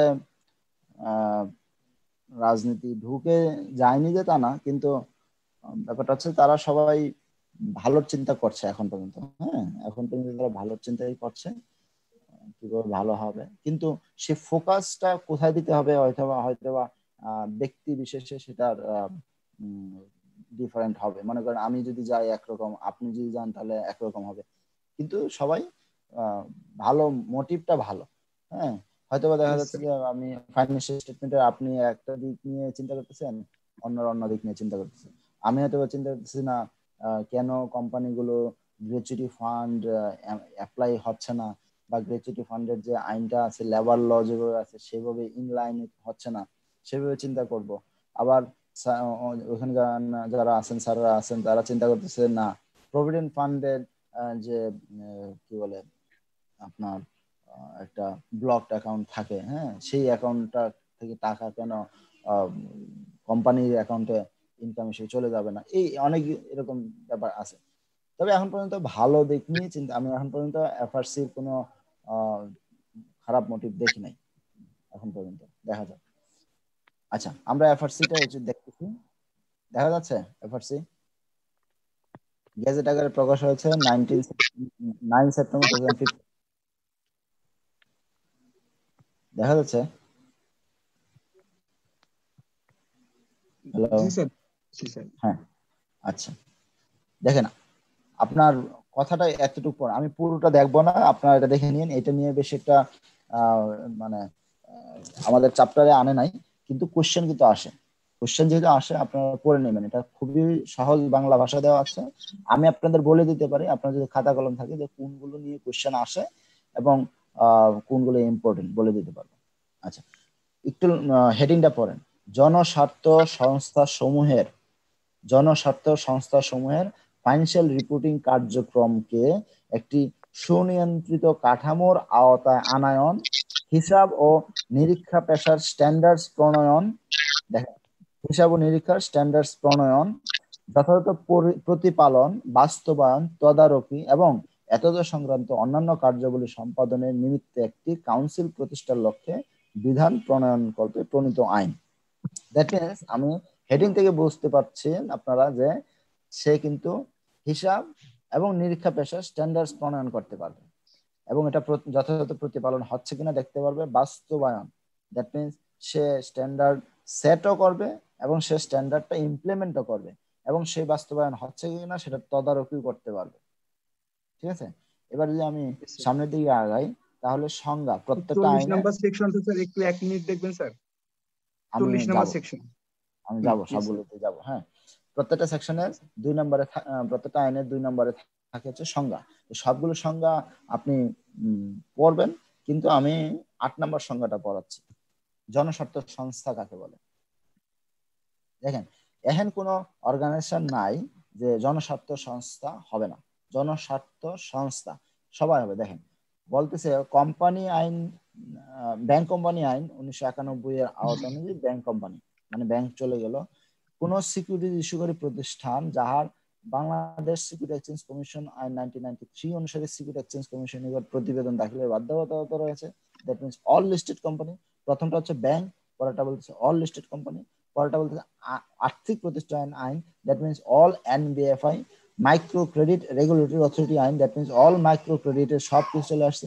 বিমা আইন দুই হাজার দশ অনুযায়ী যারা আছে দ্যাট মিনস বিমা company insurance company all insurance company দীর্ঘতে বলতেছে কোন সংস্থা যাহার বার্ষিক রাজস্ব পূর্ববর্তী অর্থ বছর কাউন্সিল কর্তৃক সরকারি গেজেট প্রজ্ঞাপন দ্বারা নির্ধারিত অর্থসীমা অতিক্রান্ত হয়েছে। এই যে ওই কি বলে, রাজস্ব কোম্পানিগুলো কিছু থাকে। মানে যাদের স্যালারি আপনার সরকারের রাজস্ব খাত থেকে আসে, তারা। তারপর কোন সংস্থা যাহা পূর্ববর্তী অর্থ বছরের শেষে নিম্নলিখিত যে কোনো দুইটি শর্ত পূরণ করবে। কি?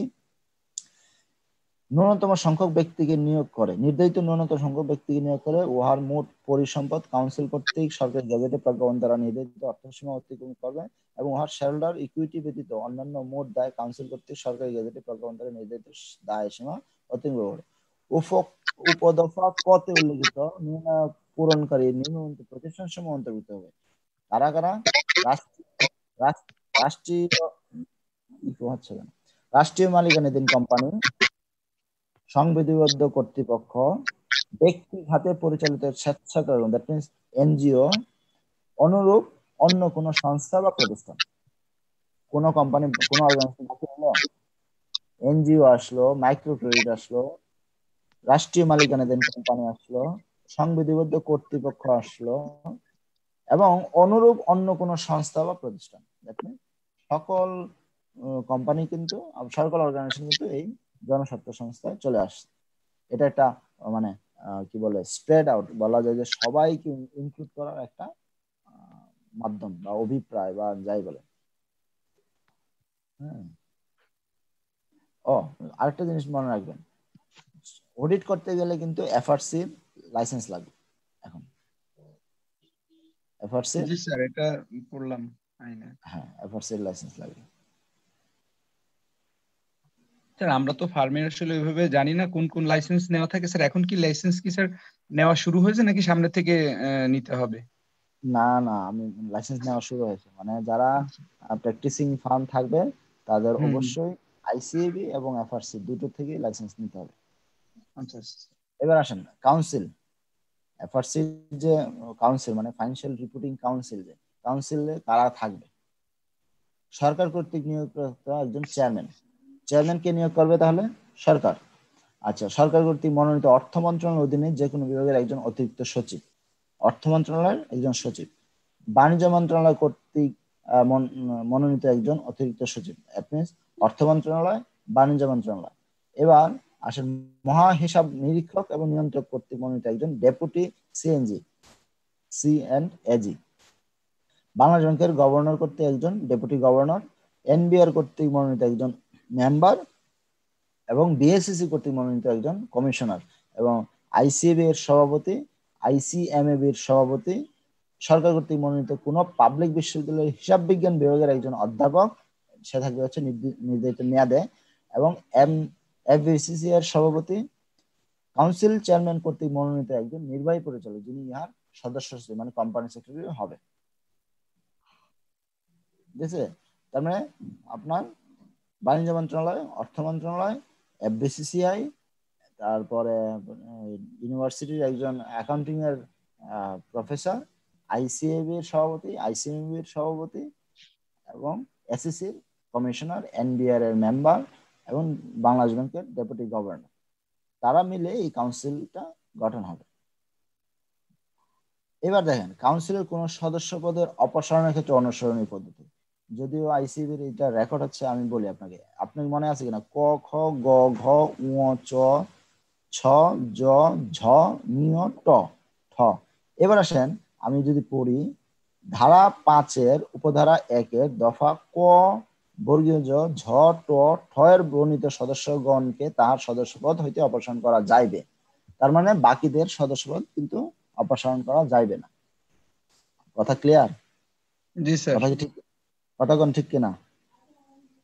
স্যার এটা আসলে ঠিক কিন্তু আসলে আইনের ভিতরে তো কিছু বলা যায় না। হ্যাঁ হ্যাঁ এখানে স্যার কিন্তু থেকেই যায় স্যার হ্যাঁ তাহলে এবার আসেন আমি ক জ ঝ ট ঠ বাদে কারা আছে? আপনি আমি কোথায় আছি?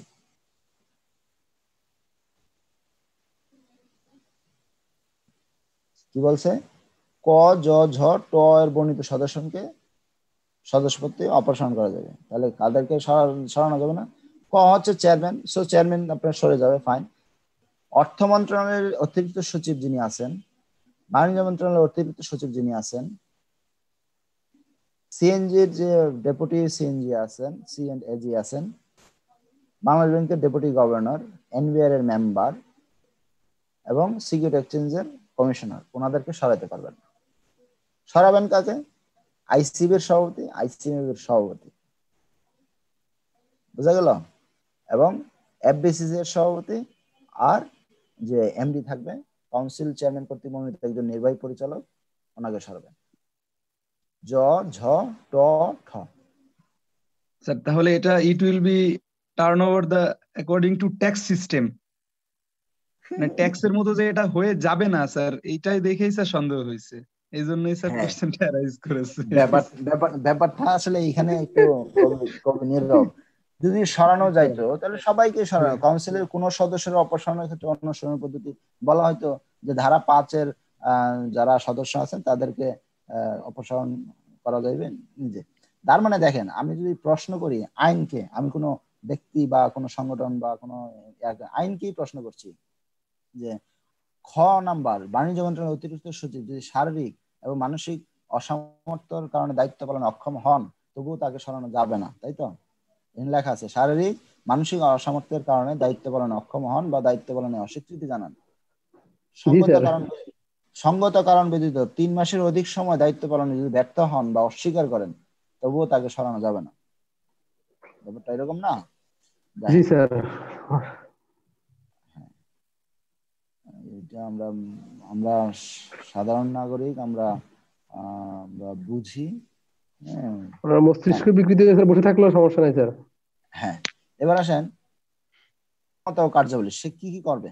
হুম আমি বলছিলাম যে সে অনেক কিছু করবে। দেখেন বাংলাদেশের আর্থসামাজিক অবস্থার প্রেক্ষিতে বিবেচনা আন্তর্জাতিকভাবে গৃহীত মানসম্পন্ন ফাইন্যান্সিয়াল রিপোর্টিং এবং অডিটিং স্ট্যান্ডার্ড কি ফাইন্যান্সিয়াল রিপোর্টিং ও অডিটিং স্ট্যান্ডার্ডের সহিত সামঞ্জস্য রাখিয়া স্ট্যান্ডার্ড সমূহ প্রণয়ন ও উহার বাস্তবায়ন। আইসিএবি আমরা কি বলে ইন্টারন্যাশনাল ফাইন্যান্সিয়াল রিপোর্টিং বলেন বা ইন্টারন্যাশনাল অ্যাকাউন্টিং স্ট্যান্ডার্ড বলেন, আমরা সরাসরি অ্যাডাপ্ট করছি, তাই না? আমরা কিন্তু কোনো রকম চেঞ্জ করি না। বিভিন্ন দেশ আছে পৃথিবীর যে যারা চেঞ্জ করে নিজেদের মতো করে ইয়া করে এবং সেটাকে গ্যাপ গ্যাপ বলা হয়। আমরা ইউএস গ্যাপের সম্পর্কে জানি, আমরা কানাডিয়ান গ্যাপ জানি। সো ইভেন শ্রীলঙ্কাতেও কিন্তু সরাসরি অ্যাকাউন্টিং স্ট্যান্ডার্ড করে না। তারা নিজেদের মতো করে একটু চেঞ্জ করে। আইসিবি করে না কিন্তু এফআরসি বলতেছে তারা মানসম্পন্ন ফাইন্যান্সিয়াল রিপোর্টিং এবং অডিটিং স্ট্যান্ডার্ডের সহিত সামঞ্জস্য রাখিয়া স্ট্যান্ডার্ড সমূহ প্রণয়ন ও আর বাস্তবায়ন করবে। ফাইন যদি এমন কখনো হয়, আমরা অবশ্যই দেখব। International accounting standards board ISB international auditing and assurance standards board ISBA বা এতদার সম্মত অন্যান্য আন্তর্জাতিক সংস্থা কর্তৃক প্রণীত আন্তর্জাতিকভাবে গৃহীত মানসম্পন্ন স্ট্যান্ডার্ডস প্রতিপালন নিশ্চিত করেন। ঠিক আছে ফাইন ঘর নাম্বার দেখেন, আর্থিক প্রতিবেদন, হিসাব রক্ষণ ও নিরীক্ষার গুণগত মান নিশ্চিতকরণের লক্ষ্যে প্রয়োজনীয় বিধি প্রবিধি স্ট্যান্ডার্ডস গাইডলাইন কোড প্রণয়ন ও ব্যবহার প্রয়োগ নিশ্চিতকরণ এখন, এই কাউন্সিল অবশ্যই একটা ভালো কাউন্সিল হবে, আশা করি। হ্যাঁ বা অলরেডি পুরো কাউন্সিল হয়েছে কিনা আমি আসলে আমার জানা নাই। হ্যাঁ সবাই সব সদস্যরা আছেন কিনা। তবে এখন যারা আছেন, তারা অনেক এই সম্পর্কে অনেক গুণ আছেন এবং তারা এই সম্পর্কে ভালো রাখেন। সো হয়তোবা তারা নতুন নতুন আইন বা নতুন নতুন স্ট্যান্ডার্ডস এখানে দেখবেন। আচ্ছা আপনি বলতেছিলেন চল্লিশ নাম্বার। চল্লিশে কি আছে ভাই? জি স্যার।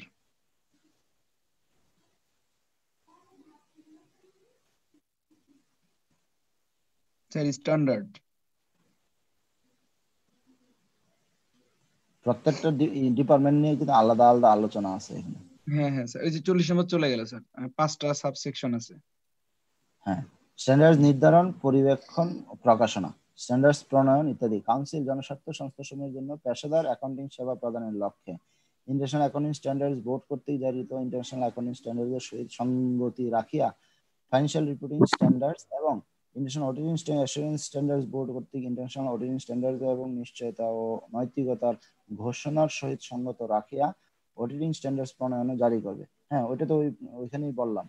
আচ্ছা কাউন্সিল অডিটিং স্ট্যান্ডার্ডের সফল বাস্তবায়নে প্রয়োজনীয় গাইডলাইন জারি করবে। প্রত্যেক তালিকাভুক্ত নিরীক্ষক তার পেশাগত দায়িত্ব পালনের ক্ষেত্রে কাউন্সিল কর্তৃক অডিটিং স্ট্যান্ডার্ড সমূহের ন্যূনতম শর্ত পালন প্রতি, শর্ত প্রতিপালন সহ এই আইনের অধীন জারিকৃত বিধি, প্রতিবেদন কোড ও গাইডলাইন অনুসরণ করবে। ফাইন একে যাহা কিছু থাকুক না কেন কাউন্সিল আন্তর্জাতিক উত্তম অনুশীলনের সহিত সামঞ্জস্য রাখিয়া ক্ষুদ্র ও মাঝারি প্রতিষ্ঠানের জন্য পৃথক সরলীকৃত আর্থিক রিপোর্টিং কাঠামো ও স্ট্যান্ডার্ড প্রণয়ন করতে পারবে। হ্যাঁ এসএমইর জন্য তো অলরেডি স্ট্যান্ডার্ড ইন্টারন্যাশনাল স্ট্যান্ডার্ড দিয়ে আসছে। তো তারাও কিছু একটা করতে হবে ক্ষুদ্র মাঝের প্রতিষ্ঠানের জন্য পৃথক সরলীকৃত আর্থিক রিপোর্টিং কাঠামো দিবে। ফাইন কাউন্সিল এই ধারার অধীন প্রণীত অডিটিং স্ট্যান্ডার্ড ও কাউন্সিলিং ফাইন্যান্সিয়াল রিপোর্টিং স্ট্যান্ডার্ড নিয়মিত হালনাগাদ করিবে এবং উহা সংশ্লিষ্ট সকলের অবগতির জন্য প্রকাশ ও প্রচার করিবে। ঠিক আছে মানে ব্যাপারটা হচ্ছে যে ওই যে আমি মূল কথায় আসি যে সেলফ রেগুলেশন থেকে বেরিয়ে তারা আর একটা ওভারসাইট বডি একটা তৈরি হয়েছে this call financial reporting council এবং তাদের দায়িত্ব আসলে আইসিবি আইসিএমবি এবং এরকম প্রফেশনাল বডি যেগুলো আছে বা সকল কোম্পানি এটা প্রতিপালন করছে কিনা অডিট রিপোর্ট ঠিক হয়ে দিচ্ছে কিনা এবং অডিট রিপোর্টের সাথে তার ফাইন্যান্সিয়াল ঠিক আছে কিনা, সকল স্ট্যান্ডার্ড পরিপালন করছে কিনা এটা দেখা দেখবার দায়িত্ব, মূল দায়িত্ব বা প্রাথমিকভাবে দায়িত্ব হচ্ছে আইসিবি আইসিবির উপরে হচ্ছে এফআরসি তারা আসলে এটা আরও ভালো দেখবে হ্যাঁ? তো দুটোই অর্গানাইজেশনই হয়তো একাত্মভাবে কাজ করে যদি আগায়, অবশ্যই সেটা ইন্ডাস্ট্রির জন্য এবং পুরো ফাইন্যান্সিয়াল রিপোর্টিং এর জন্য ভালো হবে, এবং এবং অলরেডি কিন্তু কোম্পানিগুলোতে একটা একটা ভিউজ বা একটা ইয়া চলে আসছে যে এফআরসি যেটা আছে তো আমাকে আরও ভালোভাবে কমপ্লাই করতে হবে। কারণ আপনি আগে একটা চোখ ছিল এখন কিন্তু দুটো চোখ। যখনই আপনার মা- এটা মাথায় আসবে যে আগে আইসিবি দেখতো আইসিবি নিজের ভাই মনে করতেন হ্যাঁ? যে হ্যাঁ আইসিবি তে আইসিবির প্রেসিডেন্ট তো আমার পরিচিত বা আইসিবি প্রেসিডেন্টকে আমি অ্যাপ্লাই করব একটু পার্সু করব। বা যা বলব যে স্যার ভুল হয়ে গেছে হ্যাঁ ওই দিনটা হয়তো শেষ এখন হয়তো বা এফআরসি আসছে আপনি এফআরসি যাবেন হেয়ারিং হবে বিভিন্ন স্যার আমি এই জায়গাটা যে জিনিসটা স্যার মানে ইয়ে করতেছি ফোরকাস্ট করতেছি সেটা শেয়ার করব স্যার? হ্যাঁ করেন। স্যার আমি তো একদম এক বছর হলো মাত্র সিনিয়র ভাইদের সঙ্গে কয়েকবারই স্যার ইসে গিয়েছি স্যার ডিসিটি অফিসে গিয়েছি স্যার বিভিন্ন অ্যাকাউন্টস অডিটে। পড়লে ভাইয়ারা সাথে করে নিয়ে যায়। তখন স্যার ডিসিটি বলেন, এইটা তো দুই হাজার উনিশ বিশ অর্থ বছরের অ্যাসেসমেন্ট ইয়ার দুই হাজার উনিশ বিশের জন্য। আপনি কেন অর্থ বছর দুই হাজার উনিশ বিশ এনেছেন? আবার যখন অ্যাসেসমেন্ট অর্থ বছর ধরে করি, তখন বলে, আপনি তো অ্যাসেসমেন্ট ইয়ার ধরে করবেন। এই অ্যাসেসমেন্ট ইয়ার আর ইকোনমিক ইয়ার এই দুইটা নিয়ে প্যাচ লাগায় অ্যাকাউন্ট অডিটে ফেলে দেয়। এখানেও স্যার একই কাজ করবে হয়তো। কবে প্রজ্ঞাপন জারি করেছে, সেটা আসলে উনিশ বিশের জন্য নাকি বিশ একুশের জন্য? এই প্যাসে কমিশনার ফেলাই দিয়ে অ্যাকাউন্টস অডিটে ফেলবে ডাকবে ইসের জন্য হিয়ারিং এর জন্য। ট্যাক্সে ভ্যাটের ক্ষেত্রে স্যার যেটা হয় আমি স্যার অনেকগুলো ভ্যাট করেছি কোম্পানির অ্যাকাউন্ট জমা দেওয়ার জন্য। তো তখন দেখছি স্যার এরকম প্রবলেম করে। তখন স্যার বোঝাতে হয় যে স্যার দেখেন ইকোনমিক ইয়ার যেহেতু এইটা আমাদের স্যার এই রেটটা নিতে হবে। রেট তো স্যার নিয়মিত চেঞ্জ হয় বিভিন্ন রেট ওই রেটগুলা নিয়ে তখন ঝামেলা করে যে এটা রেট কমেছে আপনারা কেন কমাননি? এটা রেট বেড়েছে আপনারা কেন বাড়াননি? আমি আমি আমি আপনার মোটিভটা বুঝতে পারছি এবং আপনার ভিতরে ইনার মিনিংটা বুঝতে পারছি। যত এরকম হবে আপনি মনে করবেন যে আপনার জন্য তত আরও ফলপ্রসূ হবে। আপনার প্রয়োজন তত আরও বেশি লাগবে। হ্যাঁ আমি তো মনে করি আমি তো মনে করি এরকম পেস লাগুক। হলে হবে কি আপনার আমার গুরুত্ব তখন বাড়বে। বিকজ আমি আপনি আসি তো টু রেসপন্ড দেন তাই না? তারা হয়তো আমাদেরকে ডাকবে আমরা সেটা রেসপন্স করব। এতে করে তো মানে এন্টায়ার মানে অর্গানাইজেশন বলেন অথবা পুরো ইন্ডাস্ট্রি বলেন সবার জিনিসটা বাড়বে। স্যার রিলেশন রিলেশনটা ত্বরান্বিত হবে স্যার হ্যাঁ হ্যাঁ হ্যাঁ সেটাই। মানে এফআরসি এবং আইসিবি দুজনেই একাত্মভাবে কাজ করলে এর- এরকম যে এফআরসি আসে তাই না? অনেক সময় আইসিবিও তো হতে পারে যে আপনারা আসলে কল করছে কিন্তু আসলে ইস্যুটা আপনি আইসিবি যেভাবে বুঝতেছে আপনি ওইভাবে অন্যভাবে এটার একটা অন্য ব্যাখ্যাও আছে। প্রত্যেকটা হ্যাঁ, জিনিসের একটা অন্য ব্যাখ্যা থাকতেই পারে। জি স্যার আমরা পজিটিভলি দেখি আর কি যে হ্যাঁ অবশ্যই ভালো হবে। ইনশাল্লাহ স্যার ইনশাল্লাহ আচ্ছা এটা হচ্ছে কর্পোরেট গভর্নেন্স কোড এটার পেজ আছে বত্রিশ বা আসলে বত্রিশ পেজ ইম্পর্টেন্ট না দশ পেজের মতো ইম্পর্টেন্ট কিন্তু এইখান থেকে কোশ্চেন আসে অনেক বেশি। প্রত্যেকটা আসপেক্টেই কোশ্চেন আসে। কর্পোরেট গভর্নেন্স বুঝি কিনা?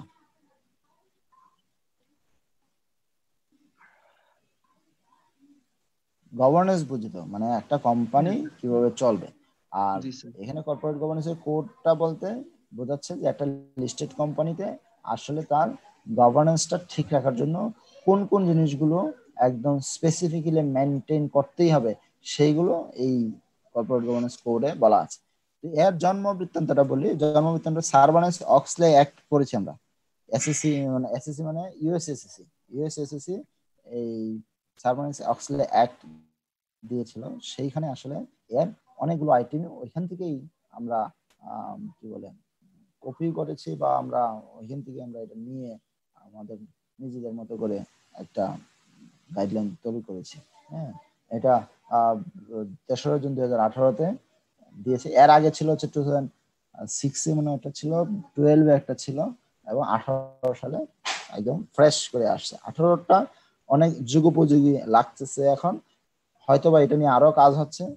অন সাপোর্টের টাইম হয়তো এখন দুই হাজার বিশ চলতেছে, দেখা যাচ্ছে হয়তো দুই হাজার একুশের দিকে বা বাইশের দিকে। আই ডোন্ট নো হয়তো নতুন আরেকটা কিছু আসবে। মানে নতুনের তো অভাব হবে না, দেখা যাচ্ছে তখন নতুন নতুন ইস্যু আসবে, নতুন নতুন ভাবে কর্পোরেট গভর্নেন্সে ঢুকাবে। ফাইন আমরা যদি একটু যাই, দেখবেন কর্পোরেট গভর্নেন্স কোডটা পুরোটা আপনাকে মুখস্থ করতে হবে। মানে শুনে ভয় পাবেন না, মুখস্থ করা খুবই সহজ। আমি বলে যাচ্ছি, আপনি মুখস্থ করতে পারবেন। আচ্ছা কি কি কোশ্চেন আসে? ইন্ডিপেন্ডেন্ট ডাইরেক্টর নিয়ে কোশ্চেন আসে। ইন্ডিপেন্ডেন্ট ডাইরেক্টরের ক্ষমতা কি? কারা ইন্ডিপেন্ডেন্ট ডাইরেক্টর হতে পারে? ইন্ডিপেন্ডেন্ট ডাইরেক্টরের এই মানে তার মানে কি বলে ক্যাপাবিলিটিটা কি হতে হবে এবং কে কে ইন্ডিপেন্ডেন্ট ডাইরেক্টর হতে পারে? ইন্ডিপেন্ডেন্ট ডাইরেক্টর একটা কোম্পানিতে কতজন থাকে? বোর্ডের সাইজ কি? প্রথম হচ্ছে size of the board of director একটা কোম্পানির বোর্ড কতজন হতে পারে? বলতেছে পাঁচ জনের কম না, বিশ জনের বেশি না। পাঁচ জনের কম না not less than five not more than twenty একটা লিস্টেড কোম্পানির board of director five to twenty হবে। মনে থাকবে? দেখা যাচ্ছে ভাই। কথা বলেন না কেন? হ্যাঁ হ্যাঁ স্যার দেখা যাচ্ছে স্যার। হ্যাঁ। একটা কোম্পানি লিস্টেড কোম্পানির বোর্ড ফাইভ টু টোয়েন্টি হবে। Shall not be less than five and more than twenty এবার আসেন ইন্ডিপেন্ডেন্ট ডাইরেক্টর কারা হতে হবে? মূল ইন্ডিপেন্ডেন্ট মূল ক্রাইটেরিয়া হচ্ছে তার শেয়ার থাকবে হচ্ছে এক পার্সেন্টের কম। শেয়ার থাকবে এক পার্সেন্টের কম। আচ্ছা। এটা এটা মাথায় রেখে দেন যে শেয়ার থাকবে এক পার্সেন্ট কম এরপরে আরও অনেক কিছু আছে, একটা ইন্ডিপেন্ডেন্ট অনেকগুলো। আপনি সবগুলো মুখস্থ করবেন, পরীক্ষার হলে তার মানে কি বলে এইটটি পার্সেন্ট মনে থাকবে। টোয়েন্টি পার্সেন্ট এমনিতেই ভুলে যাবেন। আর এর চেয়ে বেশি যদি ভুলে যান, তাহলে আর কিছু করার নাই।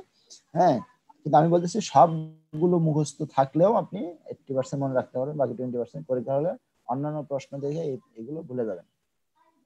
সো যত বেশি মুখস্থ রাখতে পারবেন, তত ভালো হবে। তাহলে ইন্ডিপেন্ডেন্ট কি হবে? বলছে all companies shall have effective representative independent director on their board so that the board as a group include core competence হ্যাঁ? তাহলে এটা হচ্ছে মূল। ওয়ান ফিফথ ইন্ডিপেন্ডেন্ট ডাইরেক্টর থাকতে হবে। এখন যদি আপনার অনলি পাঁচজন ডাইরেক্টর থাকে বোর্ডে যদি পাঁচজন ডাইরেক্টর থাকে, এই পাঁচজনের একজন ইন্ডিপেন্ডেন্ট ডাইরেক্টর হতে হবে। বুঝতে পারছেন? আর যদি বিশ জন থাকে, সর্বোচ্চ বিশ জন থাকে তাহলে কতজন? চারজন। ওয়ান ফিফথ আপনাকে ইন্ডিপেন্ডেন্ট ডাইরেক্টর হতে হবে। For the purpose of this means independent director means যার ওয়ান পার্সেন্টের কম শেয়ার হোল্ডিং হতে হবে। Who is not a sponsor of the company এটা খুবই ইম্পর্টেন্ট ভাই, আমি কিন্তু বলতেছি এটা যখন ফিজিক্যালি আমি ক্লাসটা নিতাম একদম ক্লাসে পুরো সবার মাথার ভিতর মুখস্থ করে ঢুকাই দিতাম। এটা পড়ে তারপর বাসায় গিয়ে একবার পড়লে তার মুখস্থ হয়ে যেত।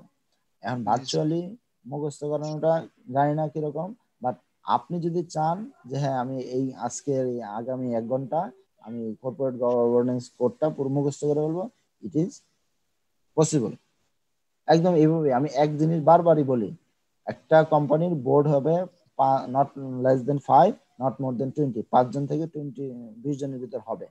ইন্ডিপেন্ডেন্ট ডাইরেক্টর হবে হচ্ছে ওয়ান ফিফথ ইন্ডিপেন্ডেন্ট ডাইরেক্টর হবে। ইন্ডিপেন্ডেন্ট ডাইরেক্টর সংখ্যা। এখন ইন্ডিপেন্ডেন্ট ডাইরেক্টর কারা হবে? যার শেয়ার ওয়ান পার্সেন্টের কম সে শেয়ার হোল্ড করবে ওয়ান পার্সেন্টের কম শেয়ার শেয়ার হোল্ড করবে। যদি সাথে সাথে লেখেন, তাহলে জিনিসটা আপনি সিরিয়াস হন। তাহলে সিরিয়াস হলে আপনি একটু লেখেন, তাহলে মনে থাকবে।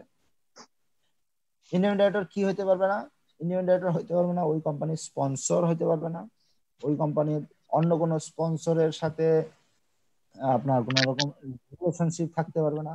অন্য কোনো অ্যাসোসিয়েটের সাথে, এই কোম্পানির অ্যাসোসিয়েটের সাথে সিস্টার কনসার্নের সাথে সাবসিডির সাথে, একটা কোম্পানি যদি এটা প্যারেন্ট কোম্পানি না হয়, যদি হোল্ডিং কোম্পানি হয়, তাহলে তার প্যারেন্টের সাথে কোনো, কারোর সাথে কোনো রিলেশন থাকতে পারবে না। এবং ওই কোম্পানির কি বলে সাবসিডিয়ারি বলেন বা প্যারেন্ট বলেন তাদের ওয়ান পার্সেন্টের বেশি সে শেয়ার হোল্ড করতে পারবে না। স্যার একটা কোশ্চেন ছিল। বলেন। স্যার এই যে ইন্ডিপেন্ডেন্ট ডিরেক্টর যে ওয়ান ফিফথ হয় সেটা যদি ফ্র্যাকশন হয় এরকম যে সিক্স পয়েন্ট ফাইভ যদি ফাইভ পয়েন্ট সিক্স যদি হয় সেক্ষেত্রে কি এখানে ছয় জন হবে ইন্ডিপেন্ডেন্ট ডিরেক্টর দেখেন এখানে আপনার কথার আনসার দেওয়া আছে। Any fraction shall be consider to be next integer five point five হলে ছয় জন হবে। জি স্যার থ্যাংক ইউ আপনার বাড়ি কি নোয়াখালী ভাই? না ফান করলাম জাস্ট মানে কেন স্যার না না ওই যে কি একটা গল্প আছে না বলে এই এরকম হবে তো হঠাৎ অর্ধেক পাতা নদীতে পড়লে কুমির হবে অর্ধেক পুকুরে পড়লে বাঘ হবে? ওইরকম আর কি এই জন্য বললাম যে উনি প্রশ্ন করছে স্যার অর্ধেক হলে কি হবে? হ্যাঁ any fraction shall be consider to next integer আচ্ছা তাহলে আমরা কোথায় ছিলাম যে ওয়ান পার্সেন্টের কম শেয়ার হোল্ডার হবে এবং ওই ইন্ডিপেন্ডেন্ট যিনি হবেন, উনি অন এই কোম্পানির স্পন্সর শেয়ার হোল্ডার হইতে পারবেন না।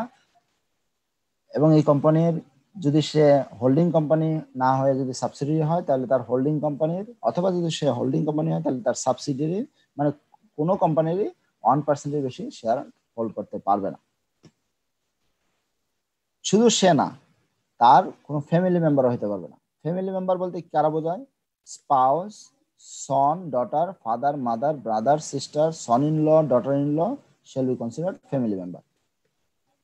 এই কেউই আপনার ওই সব কোনো কোম্পানির ওয়ান পার্সেন্ট বেশি শেয়ার হোল্ড করতে পারবে না। সহজভাবে বল- বলতেছি না, একদম কিন্তু সহজ। কিন্তু এগুলো খুব ইম্পর্টেন্ট পরীক্ষা আপনি পাস্ট কোশ্চেনগুলো দেখবেন ইন্ডিয়ান ডাইরেক্টর নিয়ে কোশ্চেন আসে। আচ্ছা ইন্ডিয়ান যে কোম্পানি ইন্ডিয়ান হবে, সেই কোম্পানির লাস্ট প্রিসিডিং টু ইয়ার্স এর ভিতর সে ওই কোম্পানির এক্সিকিউটিভ হতে পারবে না। এখানে এক্সিকিউটিভ বলতে আপনি আসলে ওই কোম্পানির এমপ্লয়ি বোঝাচ্ছে। হ্যাঁ? যে ওই কোম্পানিতে চাকরি করতে পারবে না। Last two years immediate two years সে চাকরি করতে পারবে না। দ্যাট মিনস আপনি যদি ইন্ডিয়ান ডাইরেক্টর হইতে হয়, তাহলে দুই দুই বছর আপনাকে অন্য কিছু করতে হবে, এরপরে গিয়ে আপনি ইন্ডিয়ান ডাইরেক্টর হতে পারবেন। Who does not have any other relationship either pe- uh, pecuniary or otherwise with the company or its subsidiary or associate company এবং যেহেতু লিস্টেড কোম্পানি যেহেতু লিস্টেড কোম্পানি তাহলে আচ্ছা বলেন তো ঢাকা স্টক এক্সচেঞ্জ ও চিটাগং স্টক এক্সচেঞ্জের মেম্বার কারা কে বলতে পারবেন স্যার মেম্বার কি স্যার কোম্পানির লোকেরা লিস্টেড কোম্পানি যেগুলো এগুলা তারপর আরও কেউ? বলেন। ঢাকা স্টক এক্সচেঞ্জের মেম্বার হচ্ছে সিকিউরিটি হাউসগুলো আছে না? ব্রোকারেজ হাউসগুলো?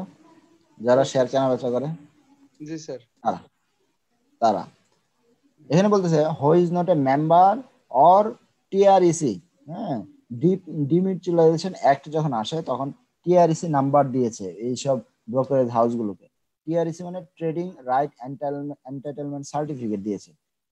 এই যে মেম্বার অর টিআরইসি হোল্ডার, এই কোম্পানিগুলোরও ডাইরেক্টর, অফিসার হতে পারবে না। একজন ইন্ডিপেন্ডেন্ট ডাইরেক্টর, এই যে ঢাকা স্টক এক্সচেঞ্জের মেম্বার হতে পারবে না। এবং সে ওইখানে ডাইরেক্টর, অফিসার, স্টক এক্সচেঞ্জের অফিসার, স্টক এক্সচেঞ্জ ডাইরেক্টর কোনো কোম্পানি, লিস্টেড কোম্পানির ইন্ডিয়ান ডাইরেক্টর হতে পারবে না। আমি কিন্তু ভাই আবার এগুলো মুখস্থ ধরবো দেখেন আচ্ছা।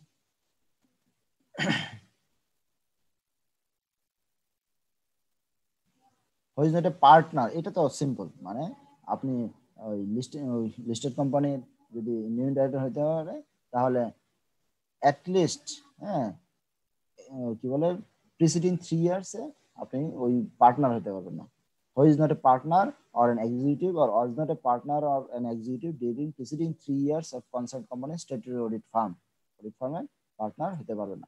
Who is not independent director in more than five listed company এটা খুব ইম্পর্টেন্ট একটা লিস্টেড কোম্পানি একজন ইন্ডিপেন্ডেন্ট ডাইরেক্টর পাঁচটা লিস্টেড কোম্পানির বেশি ইন্ডিপেন্ডেন্ট ডাইরেক্টর হতে পারবে না।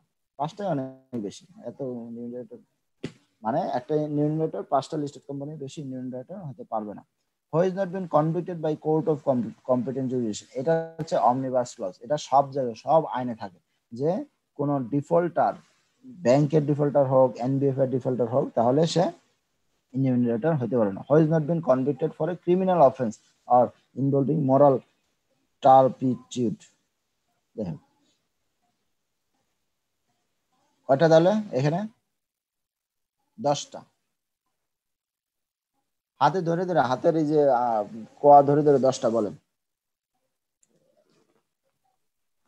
ভাই লাভ আছে আমি সময় ক্ষেপণের জন্য করতেছি না। আমি বললাম তো। এরপরে আপনাকে এটা আর করা লাগবে না আপনি দশটা বলেন। Size of the board of directors independent directors তারপরে। বলেন ইন্ডিপেন্ডেন্ট কি করতে হবে?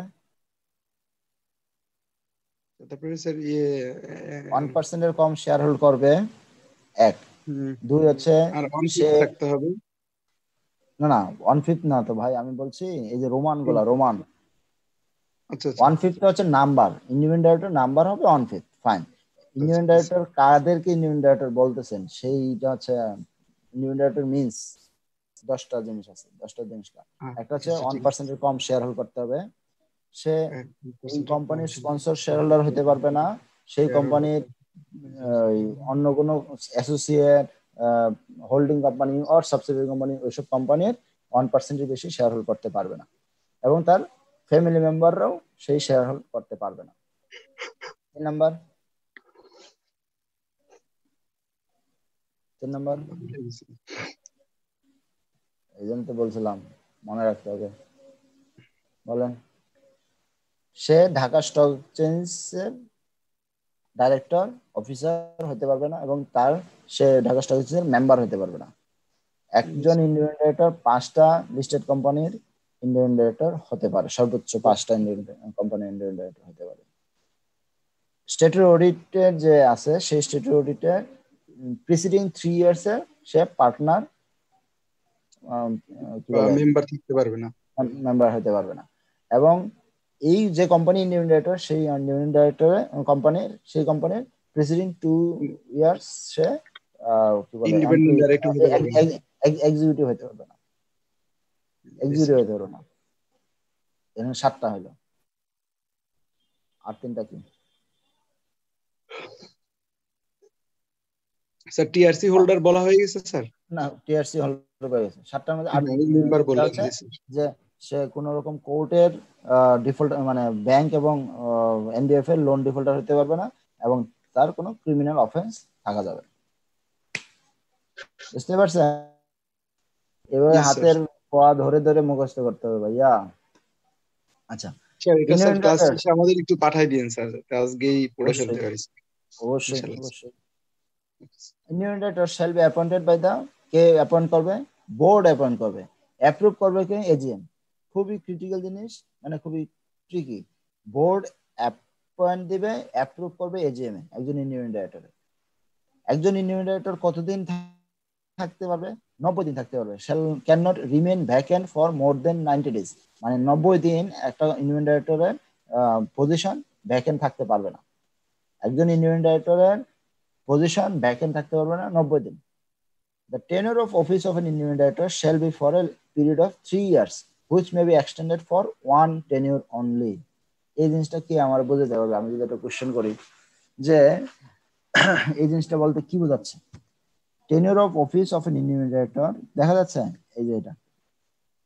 Tenure of office of an director shall be for period of three years, which may be extended for one tenure only.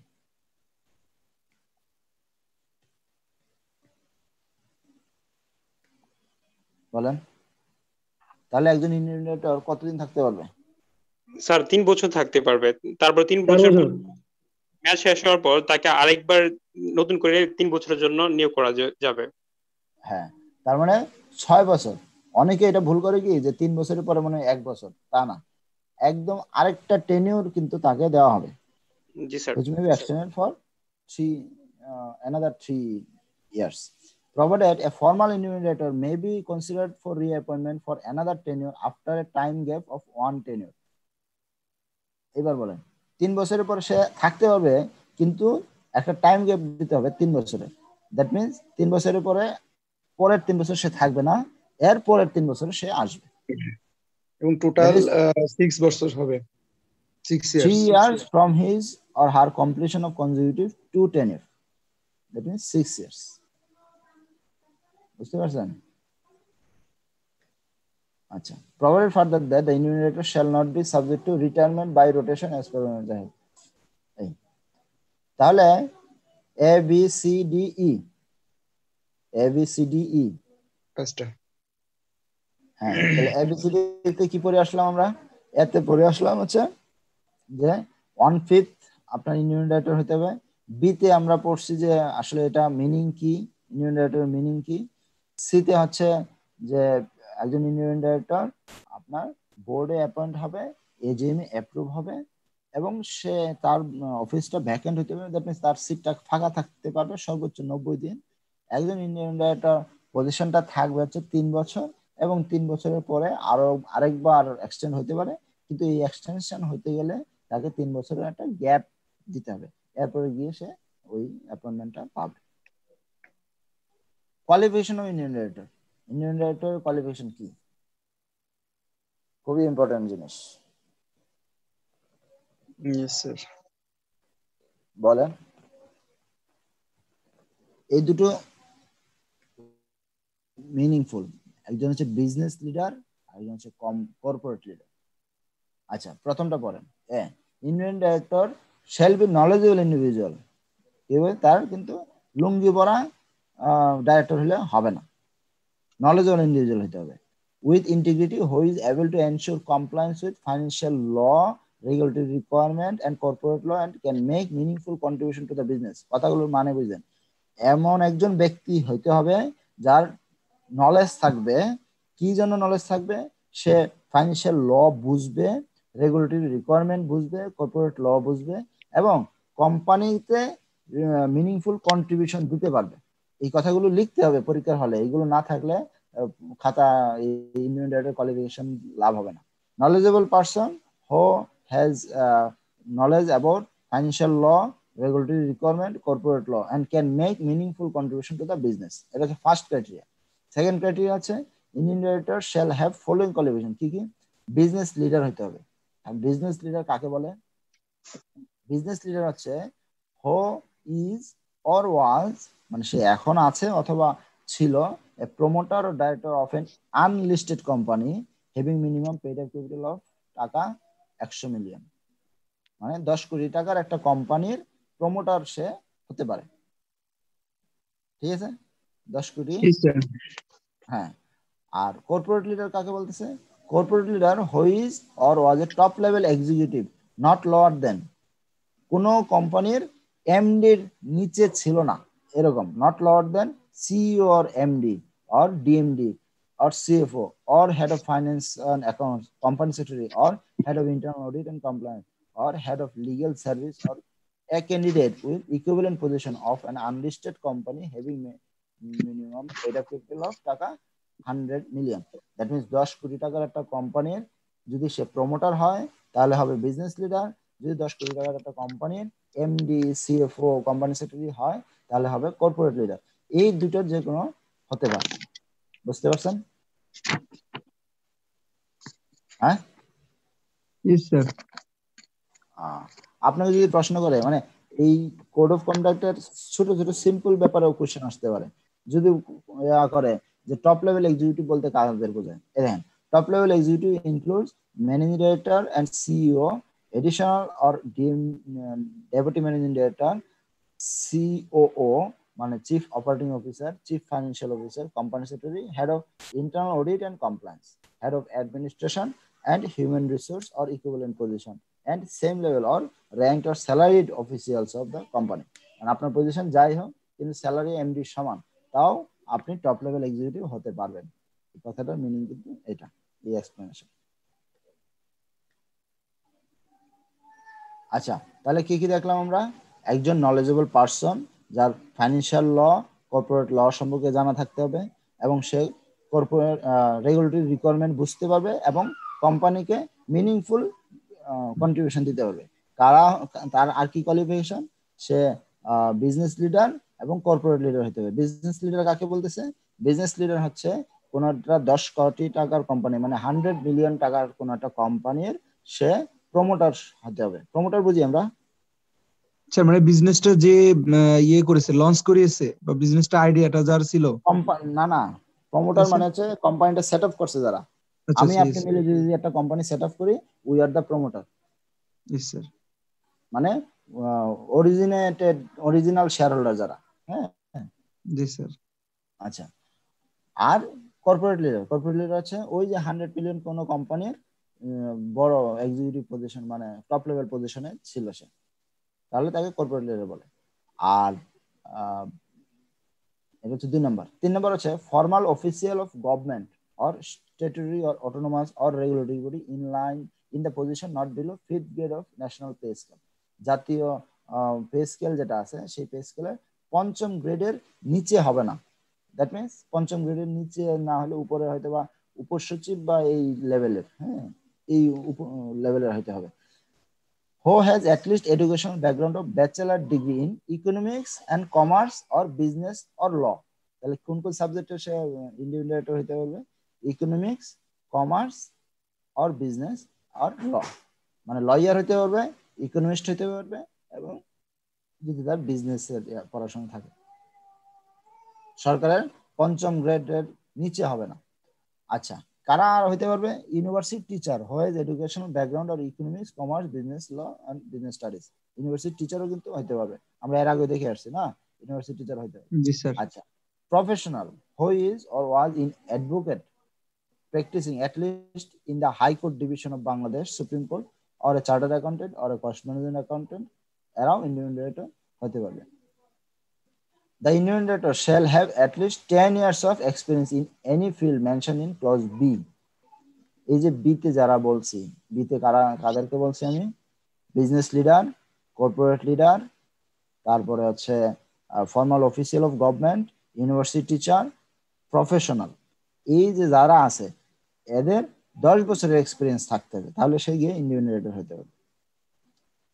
কিন্তু কিন্তু প্রত্যেকটা আইনে যেমন কিন্তু থাকে, এই কিন্তু হচ্ছে সেই কিন্তু।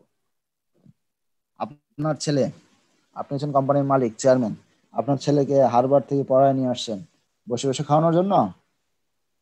না। আপনার ছেলেরে ইন্ডিপেন্ডেন্ট ডাইরেক্টর বানাও ফেলবেন। বিকজ আপনার ছেলে হারবার থেকে মনে করেন যে ওই লতে বা এই, এইগুলোতে পড়াশোনা করে আসছে ফাইন তাকে ইন্ডিপেন্ডেন্ট ডাইরেক্টর বানাবেন। পারবেন। উপরে কোনো ক্রাইটেরিয়াই ফলো করা লাগবে না। যদি কমিশন আপনাকে অ্যাপ্রুভ করে। In special case the above qualification or experience may be relaxed subject to prior approval of the commission বুঝতে পারছেন? স্যার স্যার কমিশন বলতে স্যার এখানে কাকে বোঝানো হচ্ছে স্যার অলওয়েজ কমিশন মানে Bangladesh security and exchange commission PSC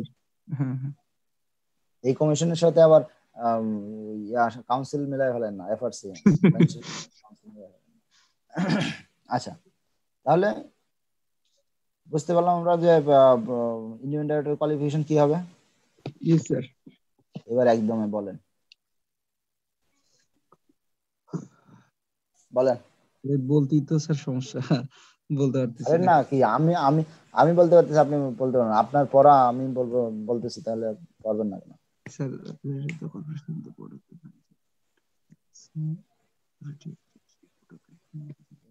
কারা হইতে পারবে। একজন নলেজেবল পারসন যার কর্পোরেট ল বিজনেস ল সম্পর্কে জ্ঞান থাকবে এবং রেগুলেটরি রিকোয়ারমেন্ট বুঝতে পারবে এবং বিজনেসকে কি বলে কন্ট্রিবিউট করতে পারবে মিনিংফুল কন্ট্রিবিউশন দিতে পারবে। ফার্স্ট কথা। দ্বিতীয় কথা হচ্ছে, সে কর্পোরেট লিডার অথবা বিজনেস লিডার হতে পারবে। বিজনেস লিডার কাকে বলে? যে একটা একশো মিলিয়ন টাকার একটা পেইড আপ ক্যাপিটাল একটা কোম্পানির প্রমোটার আর কর্পোরেট লিডার আছে একশো কোটি টাকা একটা পেইড আপ ক্যাপিটাল একটা কোম্পানির টপ লেভেল পজিশনে ছিল। কত বছর ছিল? এগুলো সবই দশ বছর। আমরা পরবর্তীতে দেখলাম যে সবগুলোই দশ বছর। দশ বছর স্যার হ্যাঁ। একজন ইউনিভার্স কি বলে গভর্নমেন্টের টপ লেভেল পজিশন কি level position fifth not below fifth grade of the national pay scale জাতীয় পে স্কেলের পঞ্চম গ্রেডের নিচে হবে না, এরকম একজন লোক। কিন্তু তার নলেজ থাকতে হবে কি? বিজনেস কমার্স ল ইকোনমিক্স আচ্ছা হতে পারবে, আপনার প্রফেসর হতে পারবে। কোন কোন বিষয়ের professor business studies law economics আর নর্মাল প্রফেশনালরাও হতে পারবে। কারা প্রফেশনাল অ্যাডভোকেট তারপরে সুপ্রিম কোর্টের অ্যাডভোকেট আইসিবির মেম্বার আইসিএমএবির মেম্বার এরাও হতে পারবে। কিন্তু এদের সকলের দশ বছরের বেশি এক্সপিরিয়েন্স থাকতে হবে। ফাইন এই। আরেকটা বলছে যে কমিশন যদি চায়, তাহলে এই কোয়ালিফিকেশনগুলো রিল্যাক্স করতে পারে। তো এই সিম্পল জিনিসগুলো বলতে পারেন না কেন? না বলতে পারলে তো মনে হচ্ছে যেন আমরা একসাথে পড়তেছি না। সহজ তো।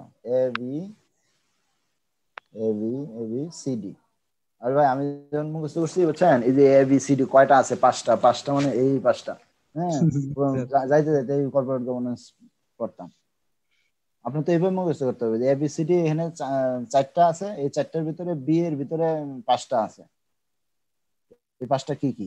একজন হচ্ছে corporate leader business leader professor government official আর হচ্ছে প্রফেশনাল এই যে পাঁচটা। আপনি তো মাথার ভিতরে তো আরও অন্য অন্য ডিটেলসগুলো মাথার ভিতরে থাকুক। কিন্তু এই পাঁচটা তো মুখস্থ।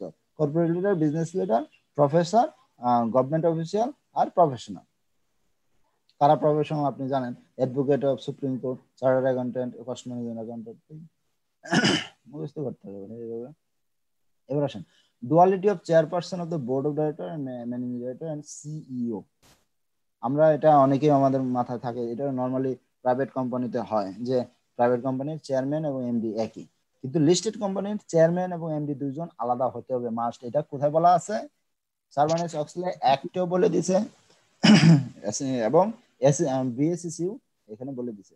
The position of the chairperson of the board and the MD or CEO of the company shall be fill by different individual দুজন আলাদা ব্যক্তি হতে হবে। MD and CEO of listed company shall not hold the same position in another listed company. একজন একজন MD দুইটা listed company MD হতে পারবে না। আগে হয়তো পারতো। যেমন ইন্ডিপেন্ডেন্ট ডাইরেক্টর কি হতে পারে? পাঁচটা লিস্টেড কোম্পানির ইন্ডিপেন্ডেন্ট ডাইরেক্টর হতে পারে। কিন্তু এমডি একজনই। The chairperson of the board shall be elected from among the non-executive directors of the company তাহলে আপনার প্রশ্ন আসে মনে মনে যে ডাইরেক্টর কি? তাহলে executive director non executive director হয়? হ্যাঁ নন এক্সিকিউটিভ ডাইরেক্টর হয়।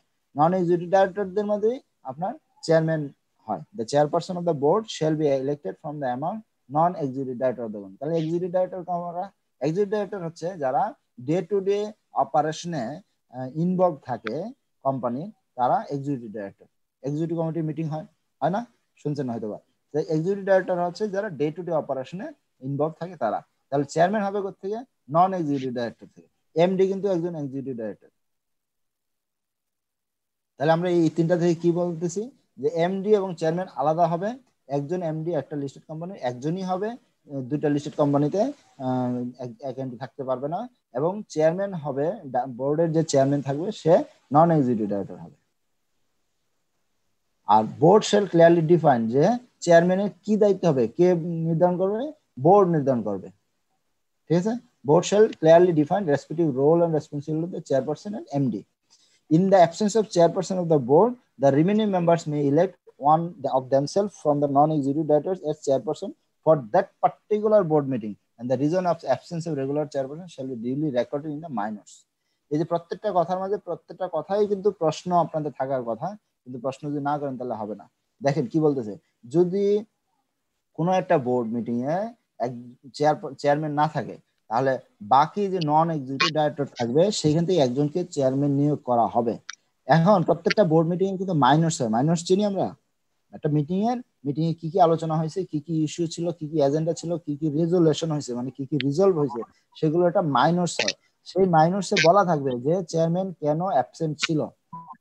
The reason of absence of the regular chairperson shall be duly recorded in the minors. তাহলে এই ডুয়ালিটির মধ্যে অপশন কয়টা? পাঁচটা। ডুয়ালিটির মধ্যে A B C D E পাঁচটা অপশন পাঁচটার মধ্যে কি কি আছে? প্রথম হচ্ছে যে এমডি এবং চেয়ারম্যান দুজন আলাদা হবে। একজন এমডি দুইটা লিস্টেড কোম্পানি এমডি হতে পারবে না। সি নাম্বার বলছে দা চেয়ারম্যান হবে নন এক্সিকিউটিভ বোর্ড থেকে বোর্ড মেম্বার থেকে চেয়ারম্যান হবে এবং board shall allocate clearly defined respective roles of the chairman and MD এবং যদি কোনো বোর্ড মিটিং এ চেয়ারম্যান অ্যাবসেন্ট থাকে, তাহলে অন্য যে নন এক্সিকিউটিভ ডাইরেক্টর আছে, তাদের মাধ্যমে একজন চেয়ারম্যান নিয়োগ করে এবং ওই মাইনরসে এটা লিখিত থাকবে যে কেন সে অ্যাবসেন্ট ছিল। বোঝা গেল? ভাই। মাত্র ছয় নাম্বার ছয় নাম্বার পেজে আসছে অনেক বড় আছে।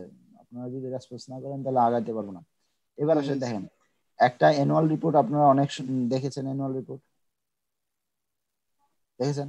অ্যানুয়াল রিপোর্টে একটা পার্ট থাকে হচ্ছে ডাইরেক্টরস রিপোর্ট সেই ডাইরেক্টরস রিপোর্টে কোনো একজন ডাইরেক্টরকে সেটা দায়িত্ব দেওয়া হয়, সেই ডাইরেক্টর এটা সাইন করে। বা অনেক সময় হ্যাঁ। তো ডাইরেক্টরস রিপোর্টে কি কি থাকে দেখেন? পড়ে শেষ করতে পারবেন না।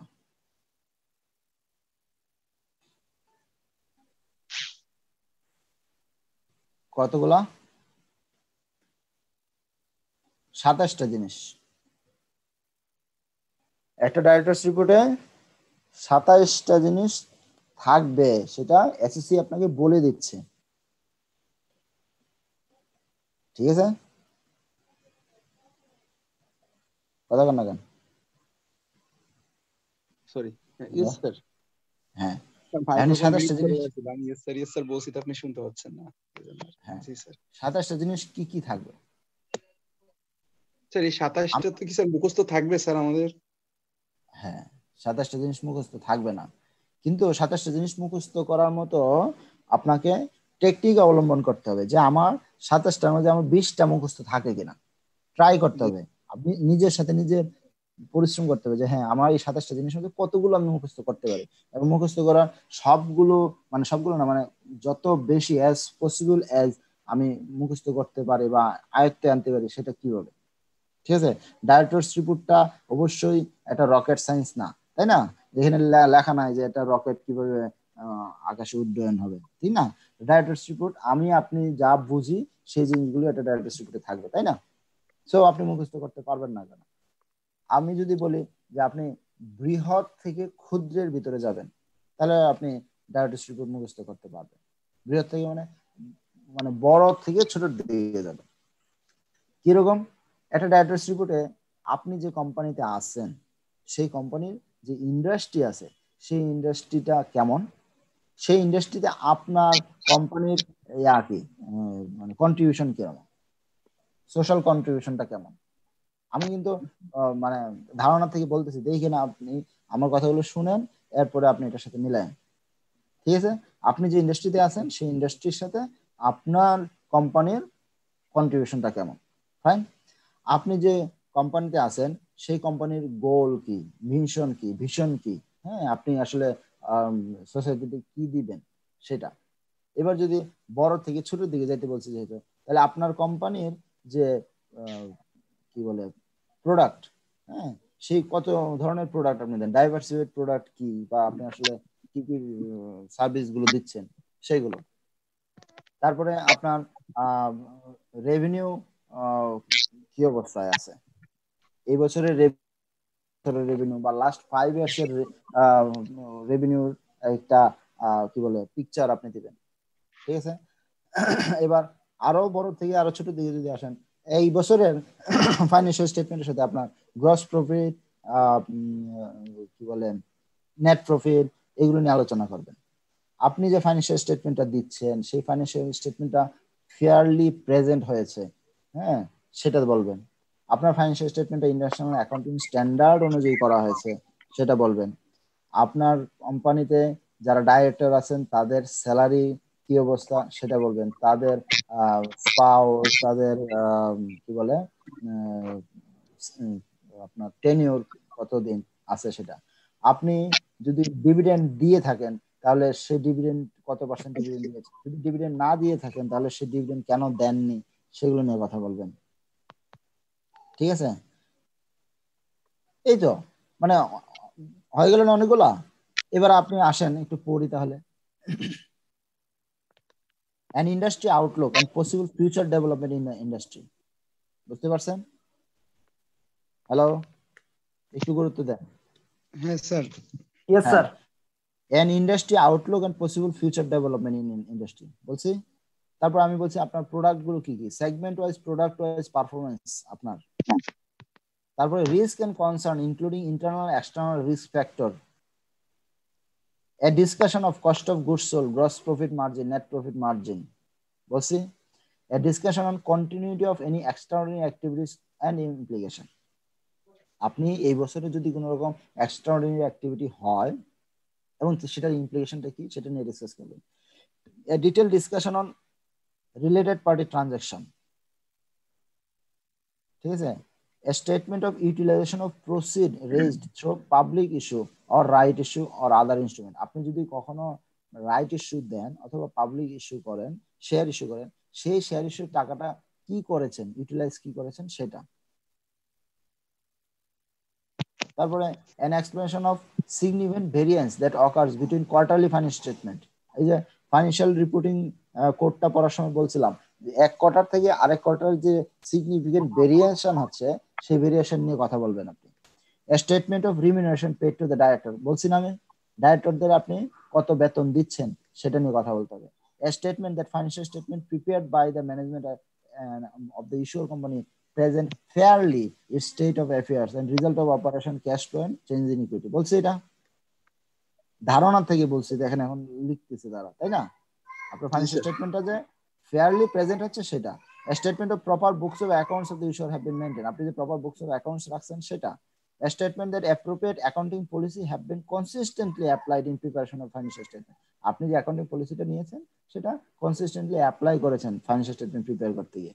Statement of international accounting standard and international financial reporting standard আপনি অ্যাপ্লাই করেছেন সেটা বলবেন। Statement that the system of internal control is sound design and has been effectively implemented and monitor এটার কথাটা কি?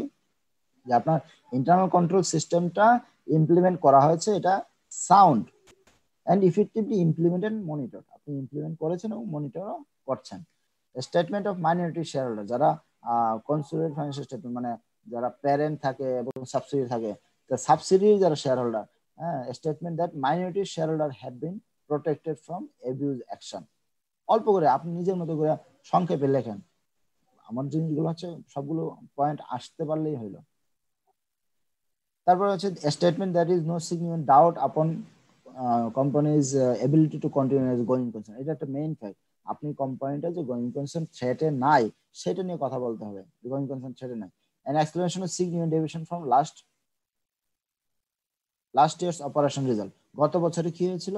এই বছর কি অবস্থা? স্টেটমেন্ট হয় কি operating and financial data of preceding five years বলছিলাম ফাইভ ইয়ার্স গত পাঁচ বছরের ফাইন্যান্সিয়াল ডাটা আপনি দিবেন। An explanation of reason if the issuer company has not declared dividend বলছে এটা যদি আপনি ডিভিডেন্ড না দিয়ে থাকেন তার রিজন বলুন। এনে কয়টা হয়েছে ভাইয়া? কয়টা হয়েছে? স্যার বিশটা। বিশটা তো আমার আপনার আমার ধারণার থেকে লিখে ফেলছি। স্যার এটা স্যার আসলে ইয়ে এই মুখস্থ করার আগে স্যার একটু ইয়ে পড়ে আসতে হবে স্যার একটা লিস্টেড কোম্পানি রিপোর্ট পড়ে আসতে হবে স্যার। পলিসি নোটে তো স্যার সবগুলোই আছে। খুব সুন্দর কথা বলছেন হ্যাঁ। একটা ডাইরেক্টর রিপোর্ট আপনি একটা ডাইরেক্টর রিপোর্ট পড়বেন যে আসলে কি কি বলছে তাহলে আপনি এই জিনিসটা একবার পড়বেন আপনার মাথায় ঢুকে যাবে একটা ডাইরেক্টর রিপোর্টে কি কি থাকে স্যার এখানে আগে পড়ার আগে রিপোর্টটা দেখে আসলে সহজ হয়ে যাবে স্যার। হ্যাঁ। এই এছাড়া কিছু না। রিপোর্টের পরে হচ্ছে meeting of the board board meeting কি অবস্থা? আচ্ছা। Code of conduct of the chairperson and board member and CEO MD এবং সিইও এবং বোর্ড মেম্বারদের কোড অফ কন্ডাক্ট কি কি? Down a code of conduct based on the remuner- recommendation of the uh, nomination and remuneration committee. এই যে nomination and remuneration committee NRC এটা কিন্তু এর আগে ছিল না। এটা আসছেই এই এই কোডে এর আগে কখনোই নমিনেশন রিমিউনারেশন কমিটি ছিল না। এই নমিনেশন রিমিউনারেশন কমিটিটা কিন্তু বোর্ডেরই একটা কমিটি মনে রাখবেন। বোর্ডেরই একটা আলাদা আরেকটা কমিটি আছে এনআরসি এই এনআরসিটা আগে ছিল না।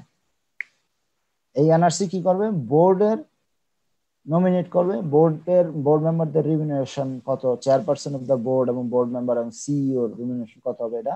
এনআরসি কমিটি রিকমেন্ড করবে। The code of conduct as determined by the NRC shall be posted on the website of the company.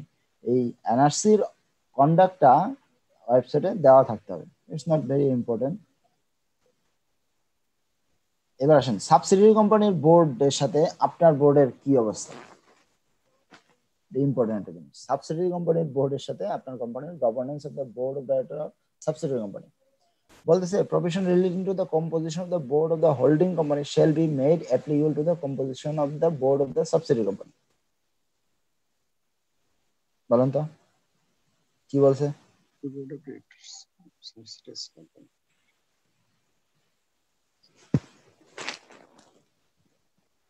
Subsidiary কোম্পানির বোর্ডের যে কম্পোজিশন এবং প্যারেন্ট কোম্পানির বোর্ডের কম্পোজিশন এক হইতে হবে। ফাইভ টু টোয়েন্টি বলছে, ওই কম্পোজিশনটা ওইখানেও থাকতে হবে। কিন্তু বলছে at least one independent director on of the board of the holding company shall be director of the board of the subsidiary company ঠিক আছে? প্যারেন্ট কোম্পানির যে ইন্ডিপেন্ডেন্ট ডাইরেক্টর সে সাবসিডিয়ারি কোম্পানির আবার ডাইরেক্টর হতে হবে। Must. Minutes of the board meeting of the subsidiary company shall be placed for review of the following board meeting of the holding company. আজকে subsidy কোম্পানির একটা বোর্ড মিটিং হয়েছে সেটার minutes হয়েছে সেই মিনিটসটা অবশ্যই প্যারেন্ট কোম্পানির নেক্সট বোর্ডে সেটা দেওয়া লাগবে The minors of the respective board meeting of the holding company shall state that they have reviewed the affairs of the subsidiary company also. কি বলতেছে প্যারেন্ট কোম্পানির যে বোর্ড সেই বোর্ডে যে সাবসিডিয়ারি কোম্পানির মাইনাসটা পড়া হয়েছে, সেটা নিয়ে একটা কমেন্ট থাকতে হবে। মাইনস তার এই- কোম্পানির বোর্ডের মাইনাসে এটা হইতে হবে। প্যারেন্ট কোম্পানির মাইনাসে এই কথাটা থাকতে হবে যে, সে সাবসিডি কোম্পানির মাইনাসটা পড়েছে বা রিভিউ করেছে। The audit committee of the holding company shall also review the financial statement and particular of the subsidiary company. মানে কি বলে প্যারেন্ট কোম্পানির একটা অডিট কমিটি থাকে। সেই অডিট কমিটি সাবসিডি কোম্পানির ফাইন্যান্সিয়াল সে রিভিউ করবে। কয়টা এখানে? A B C D governance of the board of director of subsidiary company পাঁচটা। বলেন এই পাঁচটা কি কি?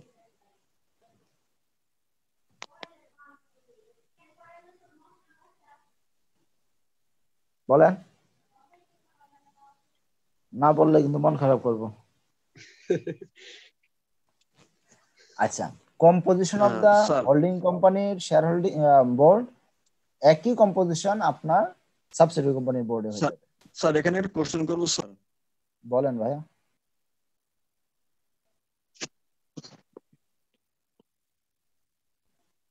বলেন।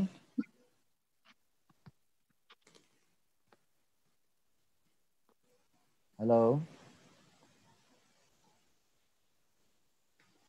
কোই কোশ্চেন করতে গিয়ে চলে গেল নাকি? ভাইয়া বলেন।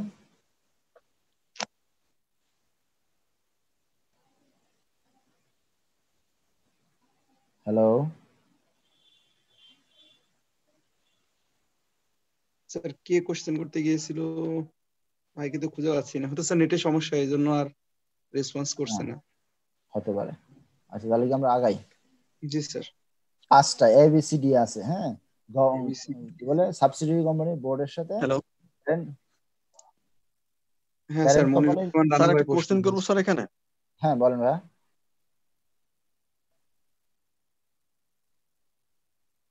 আপনি যতটুকু সময় পান ততটুকু যদি কোশ্চেনটা করে ফেলেন ভালো আপনি কোশ্চেন করতে বললে তার কোশ্চেনটা করেন না। স্যার আমরা যে প্যারেন্টস কোম্পানি হোল্ডিং স্যার সমস্যা করতেছে স্যার। আসলে হ্যাঁ ডিসকানেক্ট হয়ে যাচ্ছে স্যার। হ্যাঁ বলেন। স্যার আমি যে প্যারেন্টস কোম্পানি হোল্ডিং কোম্পানি এটা আমরা কীভাবে আইডেন্টিফাই করব স্যার? আইডেন্টিফাই করব মানে? স্যার কোনটা প্যারেন্টস কোম্পানি কোনটা holding company sir? Subsidiary company যেটা বলতেছেন স্যার। কোথায় আইডেন্টিফাই করবেনটা কোথায় সেটা বলেন।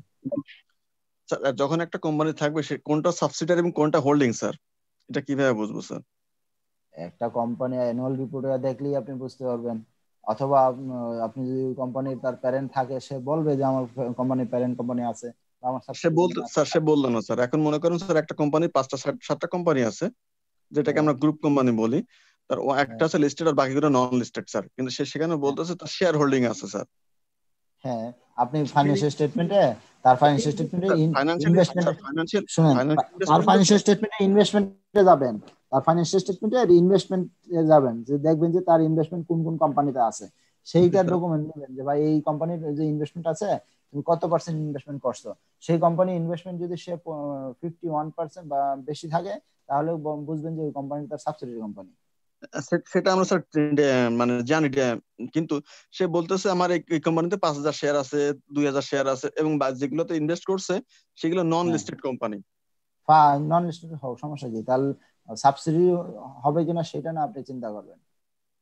আর সাবসিডি হবে কিনা লিস্টেড কোম্পানি নাও হতে পারে। একটা লিস্টেড কোম্পানির সাবসিডি যদি লিস্টেড হতে তার তো দরকার নাই। সে বলতেছে এটা আমার জাস্ট আমি সেখানে ইনভেস্ট করেছি। সে সাবসিডারি বলে ডিক্লেয়ার করতেছে না। তখন আমি তাকে কীভাবে চ্যালেঞ্জ করব স্যার না চ্যালেঞ্জ করা দরকার কি? আপনার তো আপনার কাছে কি আছে ভাই? আপনার কাছে অ্যাকাউন্টিং স্ট্যান্ডার্ড আছে। অ্যাকাউন্টিং স্ট্যান্ডার্ড বলতেছে যে একটা কোম্পানি আরেকটা কোম্পানি সাবসিডি হবে যখন তার কি হবে? না না না ফিফটি ওয়ান পার্সেন্টের বলা নাই। বলা আছে সাবস্টেন্সিয়াল কন্ট্রোল হতে হবে ভোটিং পাওয়ার থাকতে হবে। তো এখন তার সাবস্টেন্সিয়াল কন্ট্রোলটা আপনি কীভাবে চিন্তা করি? যদি প্রিন্সিপাল বেস চিন্তা করি তাহলে চিন্তা করি যে তার fifty one percent share hold করে এখন তার পাঁচ হাজার শেয়ার হোল্ড করে ওই কোম্পানির শেয়ার যদি পাঁচ লাখ থাকে তাহলে তো তার ফিফটি ওয়ান পার্সেন্ট হচ্ছে না। তো ঠিক আছে এটা তো একটা নর্মাল ইনভেস্টমেন্ট যাবে।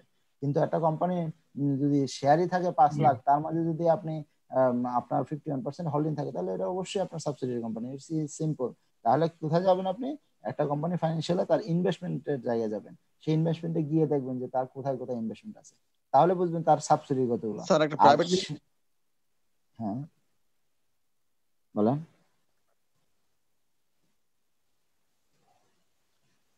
প্রাইভেট লিমিটেড কোম্পানি কি আহ, দশ কোটি টাকা কিংবা এই ধরনের কোনো শেয়ার স্ল্যাব আছে ব্র্যাকেট আছে নাকি স্যার? দশ কোটি টাকা শেয়ার যে একটা প্রাইভেট লিমিটেড কোম্পানির অনুমোদিত মূলধন দশ কোটি টাকা হলে সেটা মানে স্টক এক্সচেঞ্জে যেতে হবে কিংবা সেটা প্রাইভেট লিমিটেড হবে এমন কোনো হ্যাঁ হ্যাঁ হ্যাঁ হ্যাঁ এরকম রেস্ট্রিকশন আছে। হ্যাঁ এই রেস্ট্রিকশনটা আমার পুরোপুরি মনে নাই এরকম রেস্ট্রিকশন আছে যে আপনার লিস্টেডে যেতে হবে এত টাকা হইলে লিস্টিং এ যেতে হবে এত টাকা হলে পাবলিক লিমিটেড হতে হবে এরকম ইয়ে আছে। যখন সে বলতেছে যে আমি এই কোম্পানিতে ইনভেস্ট করে রাখছি সাত কোটি টাকা কিংবা আট কোটি টাকা কিন্তু সে বলতেছে না যে সেটা আমার সাবসিডারি কোম্পানি স্যার তখন সেটা কি করব স্যার আপনি ওই কোম্পানির ওয়েবসাইটে ওই কোম্পানির ওয়েবসাইটে যাবেন বা ওই কোম্পানির ফাইন্যান্সিয়ালি দেখবেন যে তার নাম্বার অফ শেয়ার কতগুলো। আমরা এটা আমরা দশ decide কোটি টাকার উপরে কি সেটা- লিস্টে বাধ্য স্যার হ্যাঁ। আপনি যে কোম্পানিতে সে ইনভেস্ট করছে সেই কোম্পানির অ্যাকাউন্টসে যাবেন সেই কোম্পানির অ্যাকাউন্টস খুঁজে বের করবেন যে সেই কোম্পানির আসলে নাম্বার অফ শেয়ার কতগুলো আছে।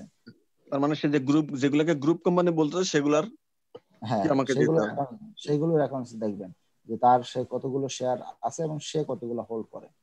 তার অ্যাকচুয়ালি গ্রুপ অফ কোম্পানি করে কি কোনো কিছু আছে স্যার আমাদের কোম্পানি লতে স্যার? বাংলাদেশে গ্রুপ অফ কোম্পানি বলে গ্রুপ কনসেপ্টটা নাই। কিন্তু আমরা সবাই বলি স্কয়ার গ্রুপ বলি হ্যাঁ বলি হ্যাঁ এটা আসলে এটা থিওরিটিক্যালি নাই। তার মানে এগুলাকে কি আমরা সাবসিডারি ধরে নিতে পারি স্যার? হ্যাঁ যদি সে ফিফটি ওয়ান পার্সেন্ট হোল্ড করে তাহলে সাবসিডি ধরে নেব। যদি ফিফটি পার্সেন্ট হোল্ড না করে তাহলে সাবসিডি হচ্ছে না। স্যার এই ফিফটি ওয়ান পার্সেন্ট প্রুভ করার জন্য তো স্যার আমার ওই কোম্পানিটার ইয়ে দেখতে হবে। কিন্তু Financial- যদি স্যার প্রাইভেট লিমিটেড কোম্পানি হয় সেগুলো স্যার ডিসক্লোজ করতে চাইবে না। তাদের আমাদের কাছে তারা কেন ডিসক্লোজ করবে? যে তাদের কতটা শেয়ার আছে বা তাদের অনুমোদিত মূলধন কত? এটাকে স্যার আমাদের শেয়ার করবে? করবে না কেন? আপনি আপনি যদি অডিটর হন আপনি একটা কোম্পানি অডিট করতে গেলেন তার যে ইনভেস্টমেন্ট আছে সেই ইনভেস্টমেন্টে আমি ফাইন্যান্সিয়াল চাইতে পারব না? দিতে হবে নাহলে আমি কীভাবে বুঝব যে সে কনসোলিডেট করতে চাচ্ছে না হ্যাঁ? কারণ সাবসিডি হলেই তো কনসোলিডেট করতে হবে তাই না? সে কনসোলিডেট করতে চাচ্ছে না সেই জন্য দেখাতে চাচ্ছে না। স্যার ক্যাপিটাল দশ অবশ্যই- কোটি টাকা স্যার ক্যাপিটাল স্যার, দশ কোটি টাকা হলে কি স্যার। লিস্টেড হতে বাধ্য স্যার এরকম কি একটা আইন আছে বুঝছেন? কত স্যার, টাকা বাধ্য কিনা স্যার না হলে স্যার এই যে গ্রুপ কোম্পানির হেড যেটা আছে যে লিস্টেড কোম্পানি সে কিন্তু ছোট ছোট যেখানে ইনভেস্ট করে সেগুলো সেগুলোর সাথে কনসোলিডেট এফএস করতেছে না স্যার হ্যাঁ সেই তো মানে ব্যাপারটা তো এখানে তারা নীরব আর কি মানে চায় না। কিন্তু সেক্ষেত্রে হ্যাঁ, আপনাকে ওই সাবসিকুয়েন্ট ইভেন্ট সাবসিকুয়েন্ট ডকুমেন্টেশনটা দেখতে হবে যে ওই কোম্পানির নাম্বার অফ শেয়ার কত মানে ওই কোম্পানির ক্যাপিটালে তার প্রপোর্শনটা আছে কিনা। বুঝতে পারছেন? এগুলো বের করতে হয়। অনেক সময় এরকম হিডেন জিনিস থাকে। মানে এটা ফার্স্ট টাইম অডিট করতে গেছিলাম স্যার কর্পোরেট গভর্নেন্স তো এখানে এটা দেখলাম দেখার পরে স্যার একটু ফার্স্ট টাইম একটু কনফিউশন আসছে দেন আমরা তাদেরকে বলেছিলাম যে আপনি যেখানে ইনভেস্ট করছেন ইনভেস্টের ডকুমেন্টগুলো এবং তাদের শেয়ার হোল্ডিং স্ট্রাকচার আমাদের দেখান। হ্যাঁ। তো দেখায়নি? তারা এগুলোতে রাজি হয় না স্যার না না তাহলে ঝামেলা আছে। না বলবেন যে না আমার ওই কোম্পানি আপনি যেখানে যে কোম্পানি ইনভেস্ট করছেন সেই কোম্পানির একটা ফাইন্যান্সিয়াল আমাদের লাগবে। এবং সে তাদের যে এফএসটা কনসলিডেটেড স্টেটমেন্ট হিসেবে করে না সেটা আমরা দেখেছি স্যার এটা কনসলিডেট নট কনসলিডেটেড স্টেটমেন্ট হ্যাঁ তাহলে আপনি কোয়ারি দেন যে ভাই আপনি এটা আমরা মনে করতেছি এটা আপনার কনসিডারেট করা দরকার কিন্তু কনসিডারেট করতেছেন না। আপনার কনসিডারেট যে করছেন না তার এগেনস্টে ইয়া দেন উত্তর দেন। কারণ যদি সে বলে যে না আমার এটা ফিফটি ওয়ান পার্সেন্ট হোল্ড করছি না বা আমার ইয়া নাই তো সেটার ডকুমেন্টেশন তাহলে দেন যে আপনি যে ফিফটি ওয়ান পার্সেন্ট হোল্ড করতেছেন না ওই কোম্পানির ক্যাপিটালের যে ফাইন্যান্সিয়ালটা টোটালটা না দেন ফাইন ওই কোম্পানির ব্যালেন্স শিটটা দেন বা ওই কোম্পানির ক্যাপিটালের নোটটা দেন দেখি। বা ওই কোম্পানির শেয়ার হোল্ডিং এর ইয়াটা ডকুমেন্টেশন দেন। তাহলে তো বুঝে যাবে। স্যার, এই এই প্রেক্ষাপটে স্যার আমাদের যে বর্তমানে যে বড় বড় গ্রুপ আছে Beximco group Square group sir, এদের স্ট্রাকচারটা কিংবা সেটআপটা কীভাবে একটু বোঝা বলা যাবে, স্যার? না, ব্যাপারটা হচ্ছে যে তারা এই যে মনে আরে আরে কে বলেন বা আপনার যে কি বলে? র্যাঙ্কস র্যাঙ্কস কিন্তু তাদের একটা গ্রুপ কনসেপ্ট আছে। তারা একটা গ্রুপ অফিস আছে, আলাদা ইয়া আছে। তারা শুধুমাত্র কাস্টমার ম্যানেজমেন্ট বা কোয়ালিটি সার্ভিস ম্যানেজমেন্ট করে। কিন্তু কোম্পানির আইন অনুযায়ী বা আরজেসির প্রেক্ষাপট অনুযায়ী কোন রকম গ্রুপ কনসেপ্ট বাংলাদেশে নাই। আছে হচ্ছে যে একটা কোম্পানি তার subsidiary parent and subsidiary concept group concept বলে কিছু না। তাতে আমাদের বড় বড় জায়ান্ট যে বেক্সিমকো স্কোয়ার তার এরা হ্যাঁ, কীভাবে। স্কোয়ার গ্রুপ বলতেছে কিংবা বেক্সিমকো গ্রুপ বলতেছে? হ্যাঁ কিন্তু এটা হচ্ছে যে কমন শেয়ার হোল্ডিং আমি একটা আমার বেক্সিমকো ফার্মা তার শেয়ার হোল্ড করতেছে হয়তো বা বেক্সিমকো গ্রুপ হ্যাঁ। বেক্সিমকো গ্রুপ হচ্ছে প্যারেন্ট সে তার আন্ডারে অনেকগুলো বেক্সিমকো কোম্পানি আছে। তো সে হচ্ছে প্যারেন্ট এবং তার আন্ডারে সাবসিডিয়ারি গুলো আছে। সবগুলো মিলে একটা গ্রুপ বলতেছে। এই হচ্ছে গ্রুপ আর কি। আমার কথা বুঝছেন? একটা কোম্পানি বেক্সিমকো হোল্ডিংস যেটা বেক্সিমকো হোল্ডিংস এর আন্ডারে কিন্তু বেক্সিমকো ফার্মা আছে হ্যাঁ এরকম আরও অনেকগুলো কোম্পানি আছে। প্রত্যেকেই প্রত্যেকগুলো সবগুলো সাবসিডিয়ারি সবগুলোর মিলে একটা বেক্সিমকো গ্রুপ বলতেছে। কিন্তু বেক্সিমকো গ্রুপ বলে আলাদা কোনো কোম্পানি নাই। বুঝা গেল? অবশ্যই সবগুলোর একটা প্যারেন্ট সবগুলোর একটা প্যারেন্ট কোম্পানি আছে। এবং সবগুলো মিলে একটা বেক্সিমকো গ্রুপ বলতেছে। আইএফএসি ব্যাংক কিন্তু বেক্সিমকোর সাথে উই হ্যাভ নো মানে কারেন্টলি কারেন্টলি সামনে আসবে কিনা বা হয়তোবা উইদিন ভেরি নিয়ার ফিউচার হতে পারে আমি সেটা বলব না। কিন্তু কারেন্টলি বেক্সিমকোর সাথে আমাদের কিন্তু গ্রুপ কনসেপ্ট নাই। মানে we are not the Beximco মানে we are the we are not the কি বলে part of Beximco group hmm, কিন্তু বেক্সিমকো যে কো চেয়ারম্যান আছে, উনি আবার আমাদের চেয়ারম্যান আমাদের শেয়ার হোল্ডার কিন্তু বেক্সিমকো আপনি যে গ্রুপ কনসেপ্ট বলতেছেন বেক্সিমকো গ্রুপে বেক্সিমকো ফার্মা আছে বা অনেক বেক্সিমকো অনেক কিছু আছে। কিন্তু বেক্সিমকো গ্রুপে কিন্তু আইএফএসি ব্যাংক নাই। বুঝতে পারছেন? কারণ আইএফএসি ব্যাংকের শেয়ার কিন্তু কোনো বেক্সিমকোর, কোনো কোম্পানি হোল্ড করে না। আমার কথা বোঝা গেল? এবার আপনি মনে হয় কিছুটা ক্লিয়ার হচ্ছেন যে what is the group concept এবং আদার দেন গ্রুপ কনসেপ্ট আমি যদি আমার আইএফএসি ব্যাংকের শেয়ার যদি কোনো বেক্সিমকো কোম্পানি হোল্ড করতো, তাহলে আমরা বলতে পারতাম যে আমরা বেক্সিমকো গ্রুপের ভিতরে। কিন্তু আমার কোনো শেয়ার বেক্সিমকোর কোনো কোম্পানি হোল্ড করে না। কিন্তু কি? বেক্সিমকোর একজন শেয়ার হোল্ডার সে আমার কোম্পানির share holder so common share holding আছে কিন্তু আমরা কিন্তু বেক্সিমকো গ্রুপের ভিতরে না। সো গ্রুপ হইতে গেলে অবশ্যই একটা হোল্ডিং কোম্পানি এবং তার আন্ডারে অনেকগুলো সাবসিডিয়ারি কোম্পানি থাকলে সবগুলোর মিলে একটা গ্রুপ বলতে পারবে এছাড়া গ্রুপ কনসেপ্টটা হবে না। ঠিক আছে?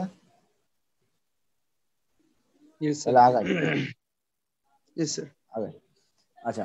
MD CEO CFO head of internal audit and compliance and company secretary এদের অ্যাপয়েন্টমেন্ট কে দিবে? এদের অ্যাপয়েন্টমেন্ট দিবে হচ্ছে board company secretary head of internal audit CFO MD এদের অ্যাপয়েন্টমেন্ট দিবে board board shall appoint MD CFO company secretary এদের the position of the MD and CFO company secretary head of internal audit এরা সবাই different individual হবে, আলাদা আলাদা লোকজন হবে। কোনো কোম্পানি সেক্রেটারি কোনো সিএফও একজন হবে না। হ্যাঁ হয়। সেটা কি? লিস্টেড কোম্পানি ছাড়া। নন লিস্টেড কোম্পানির সিএফও কোম্পানি সেক্রেটারি হতে পারে। এবং হয়, অনেক জায়গায় হয়। অথবা সিএফও এবং ইন্টারনাল অডিট একই হতে পারে। লিস্টেড কোম্পানিতে হইতে গেলে সবগুলো ব্যক্তি আলাদা আলাদা লোক হইতে হবে। আর এই চারজন মানে MD company secretary CFO head of internal এই চারজন অন্য কোনো কোম্পানির সেম পজিশনে থাকতে পারবে না। সেম টাইম সেম পজিশন থাকতে পারবে না। Board shall clearly define the respective roles and responsibility R MD এই চারজন ব্যক্তি shall not remove for the position without approval of the board বোর্ডের অ্যাপ্রুভাল ছাড়া তারা যাইতে পারবে requirement of attend of board meeting board meeting এ কারা present থাকবে? এই চারজন ব্যক্তি বোর্ডে প্রেজেন্ট থাকতেই হবে। যদি না তাদেরকে নিয়ে বা তাদের স্যালারি নিয়ে, তাদের নিয়োগ নিয়ে বা তাদেরকে অপসারণ নিয়ে যদি বোর্ডে কোনো আলোচনা হয়, এই এজেন্ডা ছাড়া সকল এজেন্ডার সময় এই চারজন ব্যক্তি বোর্ডে উপস্থিত থাকতে হবে। MD company secretary CFO head of internal audit and compliance duty এদের ডিউটিটা কি? এমডি এবং সিএফ সিএফও ডিউটি কি? এটা পরীক্ষা হলে আসে এই তিনটা জিনিস এ বি সি এমডি এবং সিএফওর ডিউটি কি? এমডি এবং সিএফও দুজন ব্যক্তি মিলে একটা স্টেটমেন্ট দেয়, যেটা ডাইরেক্টর রিপোর্টেও যায় এবং অ্যানুয়াল রিপোর্টের আলাদা একটা পার্ট হিসেবে একটা সার্টিফিকেশন যায়। কি সার্টিফিকেশন যে financial statement do not contain any material untrue statement and omit any material fact and contain statement that might be misleading খুবই ইম্পর্টেন্ট একটা জিনিস যে duties of MD and CFO হ্যাঁ? ডিউটি অফ এমডি সিএফও একটা statement দেয় যে স্টেটমেন্টে বলা থাকে যে এই যে ফাইন্যান্সিয়াল স্টেটমেন্টটা এটা আনট্রু স্টেটমেন্ট না এবং কোনো ম্যাটেরিয়াল ফ্যাক্ট এখানে অমিট করা হয় নাই এবং কোনো মিসলিডিং ইনফরমেশন এখানে কন্টেন করা নাই। তিনটা জিনিস। Untrue statement material fact omit করা হয় নাই এবং কোনো মিসলিডিং ইনফরমেশন এখানে নাই। That is content statement that might be misleading এমন কোনো স্টেটমেন্ট মানে এমন কোনো ইনফরমেশন এখানে নাই। আরেকটা জিনিস বলা হয় This statement together present true and fair view of the company's affairs and are in compliance with existing accounting standard and applicable law. Financial স্টেটমেন্টটা true and fair view এবং অ্যাপ্লিকেবল ল অনুযায়ী এটা accounting standard অনুযায়ী এটা করা হয়েছে। এই দুটো জিনিস করে সার্টিফাই করে। মনে থাকবে? এমডি এন্ড সিএফও তাহলে সার্টিফাই করে কি? একটা ফাইন্যান্সিয়াল স্টেটমেন্ট এই ফাইন্যান্সিয়াল স্টেটমেন্টটা কোন রকম আনট্রু ম্যাটেরিয়াল আনট্রু স্টেটমেন্ট না। কোন রকম ম্যাটেরিয়াল ফ্যাক্ট এখানে অমিট করা হয় নাই এবং কোন রকম মিসলিডিং ইনফরমেশন এখানে নাই। এবং ফাইন্যান্সিয়াল স্টেটমেন্টটা ট্রু অ্যান্ড ফেয়ার ভিউ এবং অ্যাজ পার অ্যাকাউন্টিং স্ট্যান্ডার্ড অনুযায়ী হয়েছে। এই দুটো জিনিস বলে। আর এমডিএসিএফ এছাড়াও আর কি করে সার্টিফাই করে? যে to the best of their knowledge no transaction entered into by the company during the year which are fraudulent, illegal or violation of code of conduct. কোন ধরনের ট্রানজাকশন এখানে করা হয় নাই, যেটা ফ্রডুলেন্ট ইলিগেল এবং ভায়োলেশন অফ কোড অফ একটা কথা হচ্ছে যে এগুলো করে তাহলে লাভটা কি? ব্যাপারটা হচ্ছে যে আপনি কিন্তু এমডি এবং সিএফওর এর পরবর্তীতে ধরতে পারবেন যদি কোনো ধরনের, এই ধরনের কোনো ইনস্ট্যান্স ঘটে থাকে। কারণ তারা কিন্তু সার্টিফাই করতেছে যে এই ফাইন্যান্সিয়াল স্টেটমেন্টটার মধ্যে কোনো রকম ম্যাটেরিয়াল আনট্রু স্টেটমেন্ট নাই কোনো রকম ম্যাটেরিয়াল ফ্যাক্ট অমিট করা হয় নাই কোনো রকম মিসলিডিং ইনফরমেশন নাই।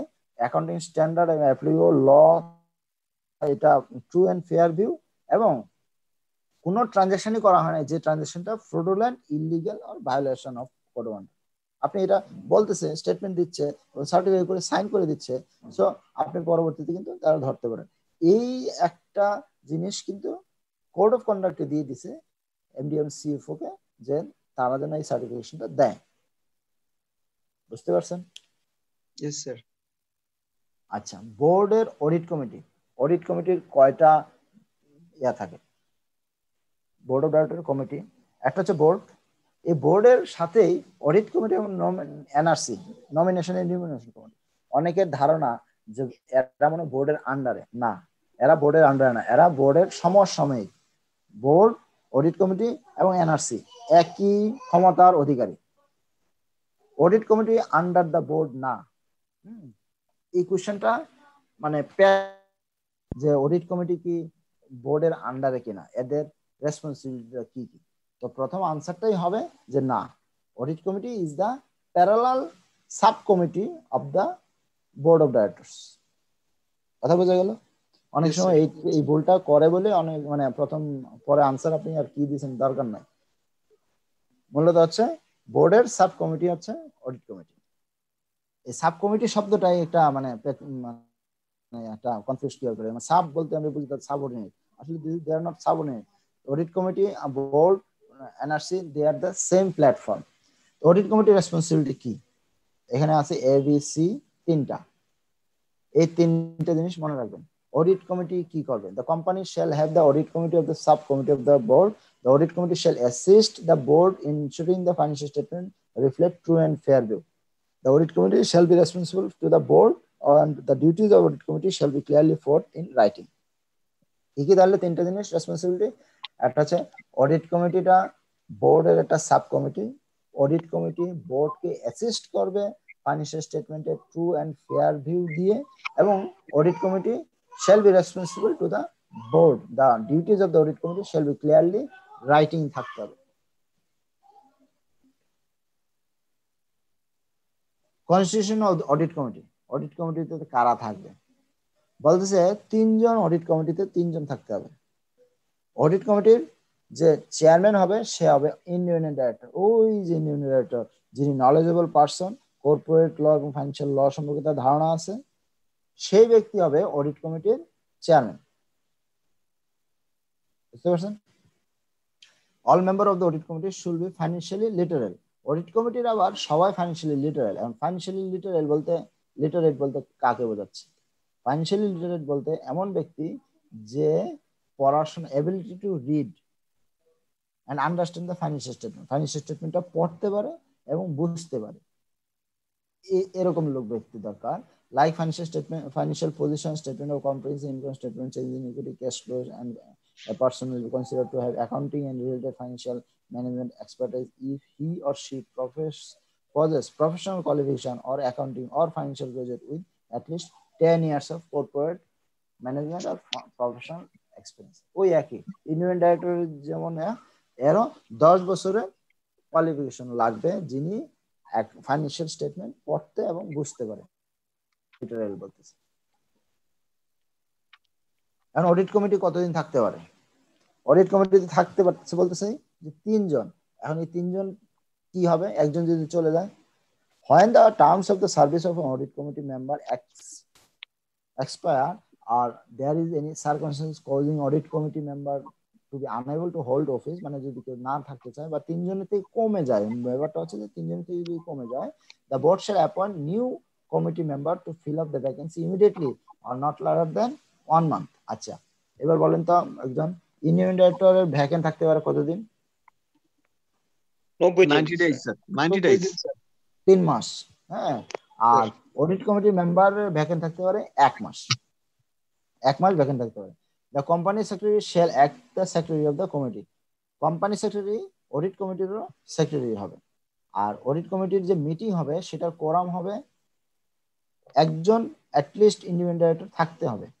The quorum of the audit committee meeting shall not constitute without at least one independent director independent director কতজন থাকতে পারে? Depends depends on the board of board member number. Five is to one sir. Five is to one fifth হ্যাঁ yes sir আচ্ছা audit কমিটির chairperson কি হবে? The board shall select one member of the audit committee to chairperson of audit committee shall be an independent director audit কমিটির chairman হবে একজন independent director in the absence of the chairperson ওই একই কথা। যদি কোনো একটা কমিটির চেয়ারপারসন সে না থাকে, তাহলে অন্যান্য অডিট কমিটির যারা আছে, তাদের থেকে একজনকে চেয়ারম্যান নেওয়া দেওয়া হবে। Chairperson audit committee shall remain present in the AGM এই একটা কথা। এজিএম এ কিন্তু অডিট কমিটির চেয়ারম্যান থাকতে হবে। অডিট কমিটির চেয়ারম্যান কি? ইন্ডিপেন্ডেন্ট ডাইরেক্টর তো আগেই তো বলে দিছে যে ইন্ডিপেন্ডেন্ট ডাইরেক্টর নিয়োগ দিবে কে? বলেন তো। Sir board of director AGM হ্যাঁ। অ্যাপয়েন্টমেন্ট দেবে বোর্ড অফ ডিরেক্টর অ্যাপ্রুভাল হবে এজিএম এ। তো এজিএম এ তো উনি এমনিতেই থাকবে। যদি একজন ডাইরেক্টর হয় সে তো এমনিতেই এজিএম এ থাকবে। যদি হ্যাঁ দুই তিনজন হয় তাহলে ব্যাপার আছে যে কে অডিট কমিটির চেয়ারম্যান হবে আর কে এমনিতে normal meeting of the audit committee চারটা মিটিং করতে হবে। অডিট কমিটির মিটিং বছরে চারটা হইতে হবে। মিনিমাম চারটা হইতে হবে। Provided that any emergency meeting in addition to the regular meeting may be conducted at the request of the any of the member of the committee যদি কোনো কমিটি মেম্বার বলে যে না আর একটু বেশি হবে, তাহলে হতেই পারে। কিন্তু অ্যাটলিস্ট চারটা মিটিং হইতে হবে। The quorum of the meeting of the audit committee shall constitute in presence of the two members or two third of the members of the committee whichever is higher কথাগুলো মনে রাখবেন কিন্তু quorum বুঝি তো আমরা যে আমি আপনি তিনজন আছি এই তিনজনের মধ্যে কোরাম যদি না হয় তাহলে মিটিং হবে না। কোরাম হচ্ছে যে তিনজনের মধ্যে দুইজন থাকতে হবে অথবা টু থার্ড এই দুটো কিন্তু মানে মনে হচ্ছে যে না একই কথা কিন্তু আসলে যদি অনেক ব্যক্তি হয় তাহলে বোঝা যাবে যে আসলে two member or two third which is higher যেটা হায়ার হবে সেটাই হবে কোরাম কিন্তু এই কোরামের মাঝে আবার এই উনি পেস লাগাইছে। Indian director is must Indian director কিন্তু থাকতেই হবে। Role of the audit committee হলেও হবে না একজন ইন্ডিপেন্ডেন্ট ডাইরেক্টর মাস্ট থাকতে হবে। হ্যাঁ ইন্ডিয়ান ডাইরেক্টর মাস্ট থাকতে হবে। এ হচ্ছে role of audit committee audit committee দেখে না এমন কিছু নাই। আপনি যা দেখেন ওইগুলোই বানায় বানায় লিখবেন। কেমন যে অডিট কমিটি একটা ফাইন্যান্সিয়াল স্টেটমেন্ট তার ইন্টারনাল কন্ট্রোল ঠিক আছে কিনা একটা financial statement true and fair view কিনা হ্যাঁ তারপরে ফাইন্যান্সিয়াল রিপোর্টিং প্রসেসটা ঠিক আছে কিনা হ্যাঁ, তারপরে এক্সটার্নাল অডিটরের নিয়োগ এক্সটার্নাল অডিটরের অ্যাপয়েন্টমেন্ট কি বলে ফিজ এই জিনিসগুলো দেখে।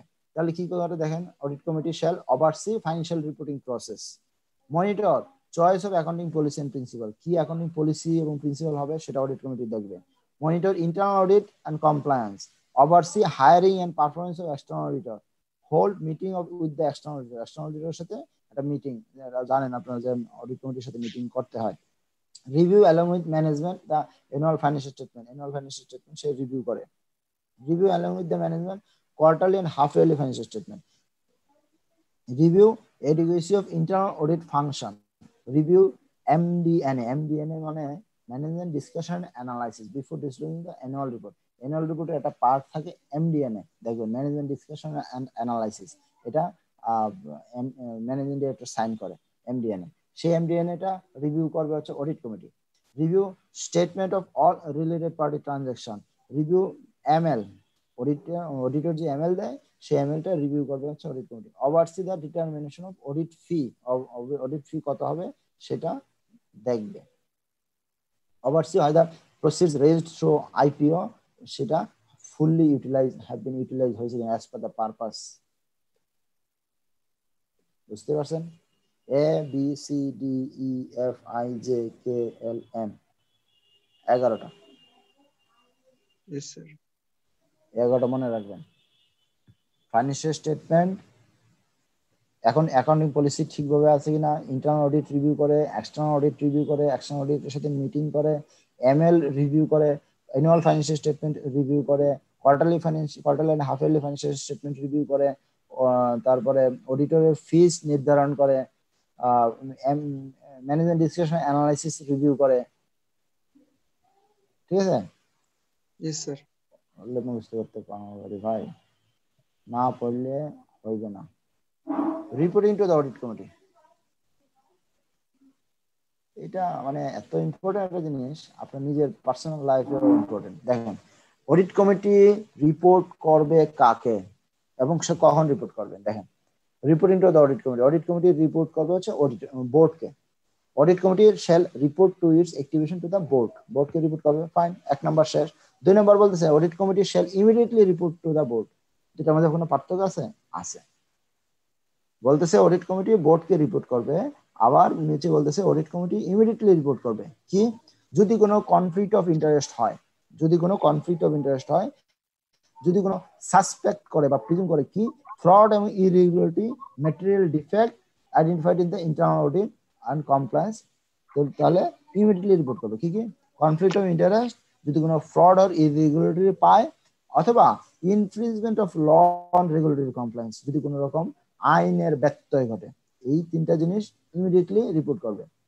আরেকটা হচ্ছে any other matter which the audit committee deems necessary যদি অডিট কমিটি মনে করে, তাহলে ইমিডিয়েটলি রিপোর্ট করবে। তাহলে responsibility of the audit committee কি? Audit committee shall report to the its activities to the board audit committee shall immediately report কি কি? যদি কোনো কনফ্লিক্ট অফ ইন্টারেস্ট হয়, এক, যদি কোনো ফ্রড সাসপেক্ট করে, তাহলে যদি কোনো রকম ইনফ্রিজমেন্ট অফ ল মানে আইনের ব্যত্যয় ঘটে, অর্থাৎ রেগুলেটরি কমপ্লায়েন্স ব্যত্যয় হয়, তাহলে সাসপেক্ট করে দিই তাহলে ইমিডিয়েটলি রিপোর্ট করবে। এবার আসেন, এক, দুই, চলে গেল। রিপোর্টিং টু দ্য অথরিটি এই অথরিটিটা কে? এই অথরিটি আছে এসএসসি কমিশন অডিট কমিটি কমিশনকেও রিপোর্ট করতে পারবে। কখন? যদি কোনো সময় বোর্ডকে ছয়বার সরি ছয় মাস, অথবা তিনবার তিনবার অথবা ছয় মাস। যদি প্রথমবার জানানোর পরে ছয় ছয় মাস অতিক্রান্ত হয় যদি বোর্ড এটা নিয়ে কোনো রকম গ্রাহ্য না করে কোনো রকম স্টেপ না নেয় তাহলে এসএসসি কে জানাতে হবে।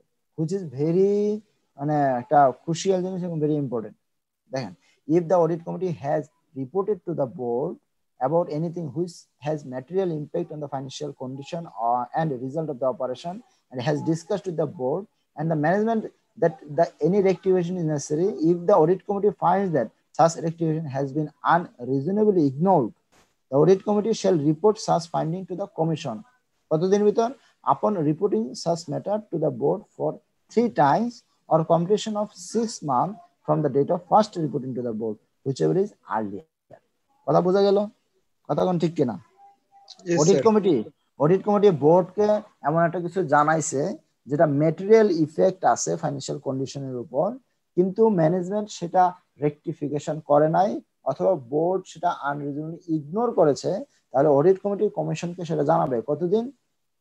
পরপর তিনবার জানানোর পর অথবা অথবা প্রথমবার জানানোর ছয় মাস অতিক্রান্ত হওয়ার হুইচেভারি জানালিয়ার কি রকম তাহলে? আপনি আজকে জানাইছেন আজকে হচ্ছে আঠারোই ডিসেম্বর উনিশ তারিখ বিশ তারিখ তিন দিন জানাইছেন। তাহলে তিনবার কিন্তু শেষ। এখন, আঠারো তারিখ ফার্স্ট জানাইছেন, এই আঠারো তারিখ থেকে ছয় মাস হুইচেভার ইজ আর্লিয়ার আর্লিয়ার কোনটা ভাই? আঠারো, উনিশ, বিশ তারিখ। বিশ তারিখ আর্লিয়ার তিন দিন একদম তিন দিনে জানাইছেন। আজকেও জানাইছেন, কালকেও জানাইছেন পরশু জানাইছেন। হুইচেভার ইজ আর্লিয়ার তার মানে বিশ তারিখ। ছয় মাস কিন্তু তাহলে তা আপনার অতিক্রান্ত করা লাগবে না। এই তিন দিনের ভিতরে তার রেক্টিভেশন নেওয়ার কথা ছিল, কিন্তু নেয় নাই। বোর্ড অডিট কমিটি মনে করছে, তিন দিন জানানো শেষ, সে কমিশনকে জানাই দিতে পারবে। এবার আসেন অথরিটিকেও জানাইছি, হয় নাই, কাজ হয় নাই। Reporting to the shareholder and general investor জানাই দেব। কীভাবে জানাব? Report on activities carried out by the audit committee including any report made to the board under condition number five six A two কোনটা? ভাই ফাইভ এর six হচ্ছে এটা এ two ওই যে conflict of interest fraud law বুঝছেন? Five two five এর six এর এর টু ফাইভ এর সিক্স এর এর টু এইগুলো এই যে ফ্রডের ইরিগুলারিটির সাসপেকশন ইনফ্রিজমেন্ট অফ ল এগুলো সম্পর্কে যদি কোনো রকম কমেন্ট থাকে, তাহলে আপনি শেয়ার হোল্ডারকে অ্যানুয়াল রিপোর্টের মাধ্যমে জানাতে পারবেন। এবং সেটা সাইন করবে কে? অডিট কমিটির চেয়ারম্যান। বুঝতে পারছেন? স্যার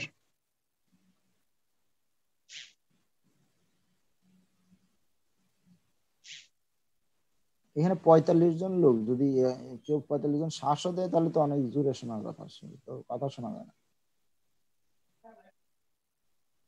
স্যার সবার তো স্যার মিউট করা স্যার ক্লাস করতেছে, কিন্তু মিউট করা আছে।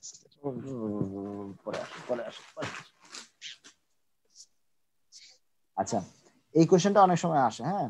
এক্সটার্নাল অডিটর কি কি করতে পারবে না? এটা আমরা সবাই জানি না। এক্সটার্নাল অডিটর কি কি করতে পারবে না? এই আটটা জিনিস আছে। External auditor appraisal valuation service করতে পারবে না। Financial information system design implement করতে পারবে না। বুক কিপিং করতে পারবে না। Broker dealer actuarial internal audit R any other service audit committee determine audit and certification service on compliance of corporate governance এই কর্পোরেট গভর্নেন্সটা কিন্তু একটা সার্টিফিকেশন করে এটা কি যেন বলতেছিল, আপনারা জানেন অবশ্যই। মানে কর্পোরেট গভর্নেন্স একটা সার্টিফিকেশন কিন্তু আদার দ্যান স্টেটুরি অডিটর করতে হয়। আমার স্টেটুরি অডিটর হচ্ছে হালদার ইউনুস আর কর্পোরেট গভর্নেন্সটা করা হচ্ছে Hodavasi other than statutory auditor corporate গভর্নেন্সের অডিটটা করতে হয়। তাহলে অডিটর কি কি করতে পারে না? অ্যাপ্রাইজাল আর ভ্যালুয়েশন একদম একটু মুখস্থ বলবেন ভাই। Appraisal R valuation financial information system design bookkeeping broker dealer actuarial internal audit R audit of corporate governance বলতে পারবেন কেউ? স্যার একটু সময় দিলে বলা যাবে স্যার। একবার শুনে অমনি স্যার বলাতে একটু টাফ হয়ে যায়। পাঁচ দশ মিনিট সময় দিলে স্যার মুখস্থ করে বলতে পারব স্যার। এগুলো এগুলো এগুলো আপনাদের অডিটিং ইয়াতেও সাবজেক্টেও আছে। স্যার অ্যাকচুরিয়াল সার্ভিসটা বলতে কি বোঝাচ্ছে স্যার? অ্যাকচুরিয়াল সার্ভিসটা হচ্ছে গ্র্যাচুইটি ফান্ড শুনছেন না? গ্র্যাচুইটি ফান্ড গ্র্যাচুইটি ফান্ডের একটা ভ্যালুয়েশন করা হয়। গ্র্যাচুইটি ফান্ডের একটা প্রভিশন করতে হয় না যে থার্টি ফার্স্ট ডিসেম্বরে আপনার যে ফান্ডটা তো আলাদা থাকে। মানে কোম্পানি এবং ফান্ড দুটো আলাদা জিনিস।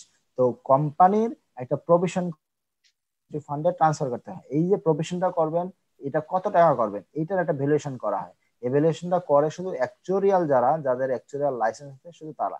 কীভাবে করে? যে আপনার কোম্পানিতে কতজন এমপ্লয়ি আছে, তাদের মর্টালিটি রেট মানে মৃত্যু হার কেমন, অথবা তারা চলে যাবে এরকম একটা বেসিস ধরে হ্যাঁ? তাদের বয়স অনুপাতে সেই জিনিসটা ধরে। কারণ গ্র্যাচুইটি ফান্ডের সিস্টেমটা কি? যে আপনার length of service into current basic আপনার যে যখন যে চলে যাবে, তার বেসিকের ইনটু সে কত বছর চাকরি করছে। তাহলে যে তার চাকরির মেয়াদের সাথে যেহেতু সম্পর্ক, তাহলে তার চাকরির মেয়াদটা চিন্তা করতে হবে, সেটার একটা ভ্যালু সেটার একটা ভ্যালুয়েশন করা হয়। সেই ভ্যালুয়েশনটা অ্যাকচুয়ারিয়ালরা করে। সেই সার্ভিসটা অডিটর করতে পারবে না। বাংলাদেশে শুধুমাত্র অ্যাকচুয়ারিয়াল সার্ভিস যারা যারা অ্যাকচুয়ারিয়াল সার্টিফিকেট আছে, তারাই শুধু দেয়। আচ্ছা maintenance of website of the company এটা আমরা ফাইন্যান্সিয়াল রিপোর্টিং এ করে, পড়েছি মানে কোম্পানির কিন্তু একটা website mandatory the company shall have an official website link to the website of the stock exchange the company shall keep the website functional from the date of listing যেদিন থেকে listing এ যাবেন, সেদিন থেকে ওয়েবসাইটে থাকতে হবে। ওয়েবসাইটটা আবার ঢাকা স্টক এক্সচেঞ্জ স্টক এক্সচেঞ্জের সাথে লিঙ্ক অ্যারেঞ্জমেন্টে থাকতে হবে সবসময়। আপনার কোম্পানিতে কোনো একটা ইনফরমেশন পিএসআই যাই হোক, সেটা ওই ডিএসসি ওয়েবসাইটেও অটোমেটিক চলে যাবে। এই এই হচ্ছে আপনার reporting and compliance of the corporate governance এটা তো অ্যানেক্সার সিতে দেওয়া আছে। এই অনুযায়ী আপনি রিপোর্ট করবেন অ্যানেজার এ অ্যানেজারে চলে আসছে হ্যাঁ। কর্পোরেট গভর্নেন্সের রিপোর্টটা কখনো দেখেছেন আপনারা? এই দেখেন। দেখা যাচ্ছে অ্যানেক্সার সি এই সার্টিফিকেটটা দেয়। আচ্ছা এরা দেখেন, এখানে প্রত্যেকটা কন্ডিশন অনুযায়ী আছে। কন্ডিশন নাম্বার ওয়ান ওয়ান দেখছেন? সবগুলো কন্ডিশন কমপ্লাই করেছে অথবা কমপ্লাই করেনি। এই সার্টিফিকেশনটা স্ট্যাটুরি অডিটর ছাড়া অন্য অডিটর দিতে হয়। এবং এটা অ্যানুয়াল রিপোর্টে উল্লেখ করা থাকে।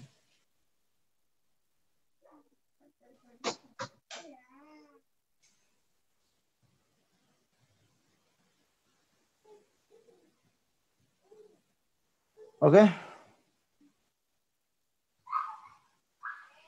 yes sir thank you welcome ভালো থাকবেন সবাই। স্যার এটা একটু পেয়ে গেলাম স্যার। ভালো লাগল স্যার। আজকে ক্লাসটা অনেক গুরুত্বপূর্ণ ছিল।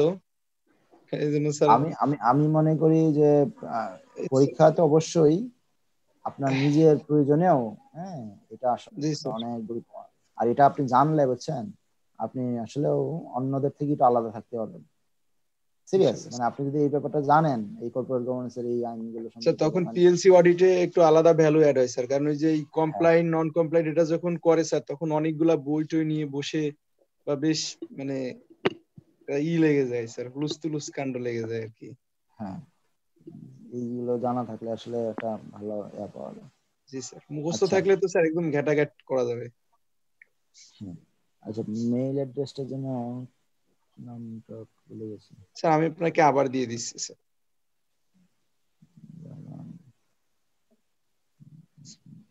আচ্ছা আবার দিয়ে নিচ্ছি হ্যাঁ। ঠিক আছে।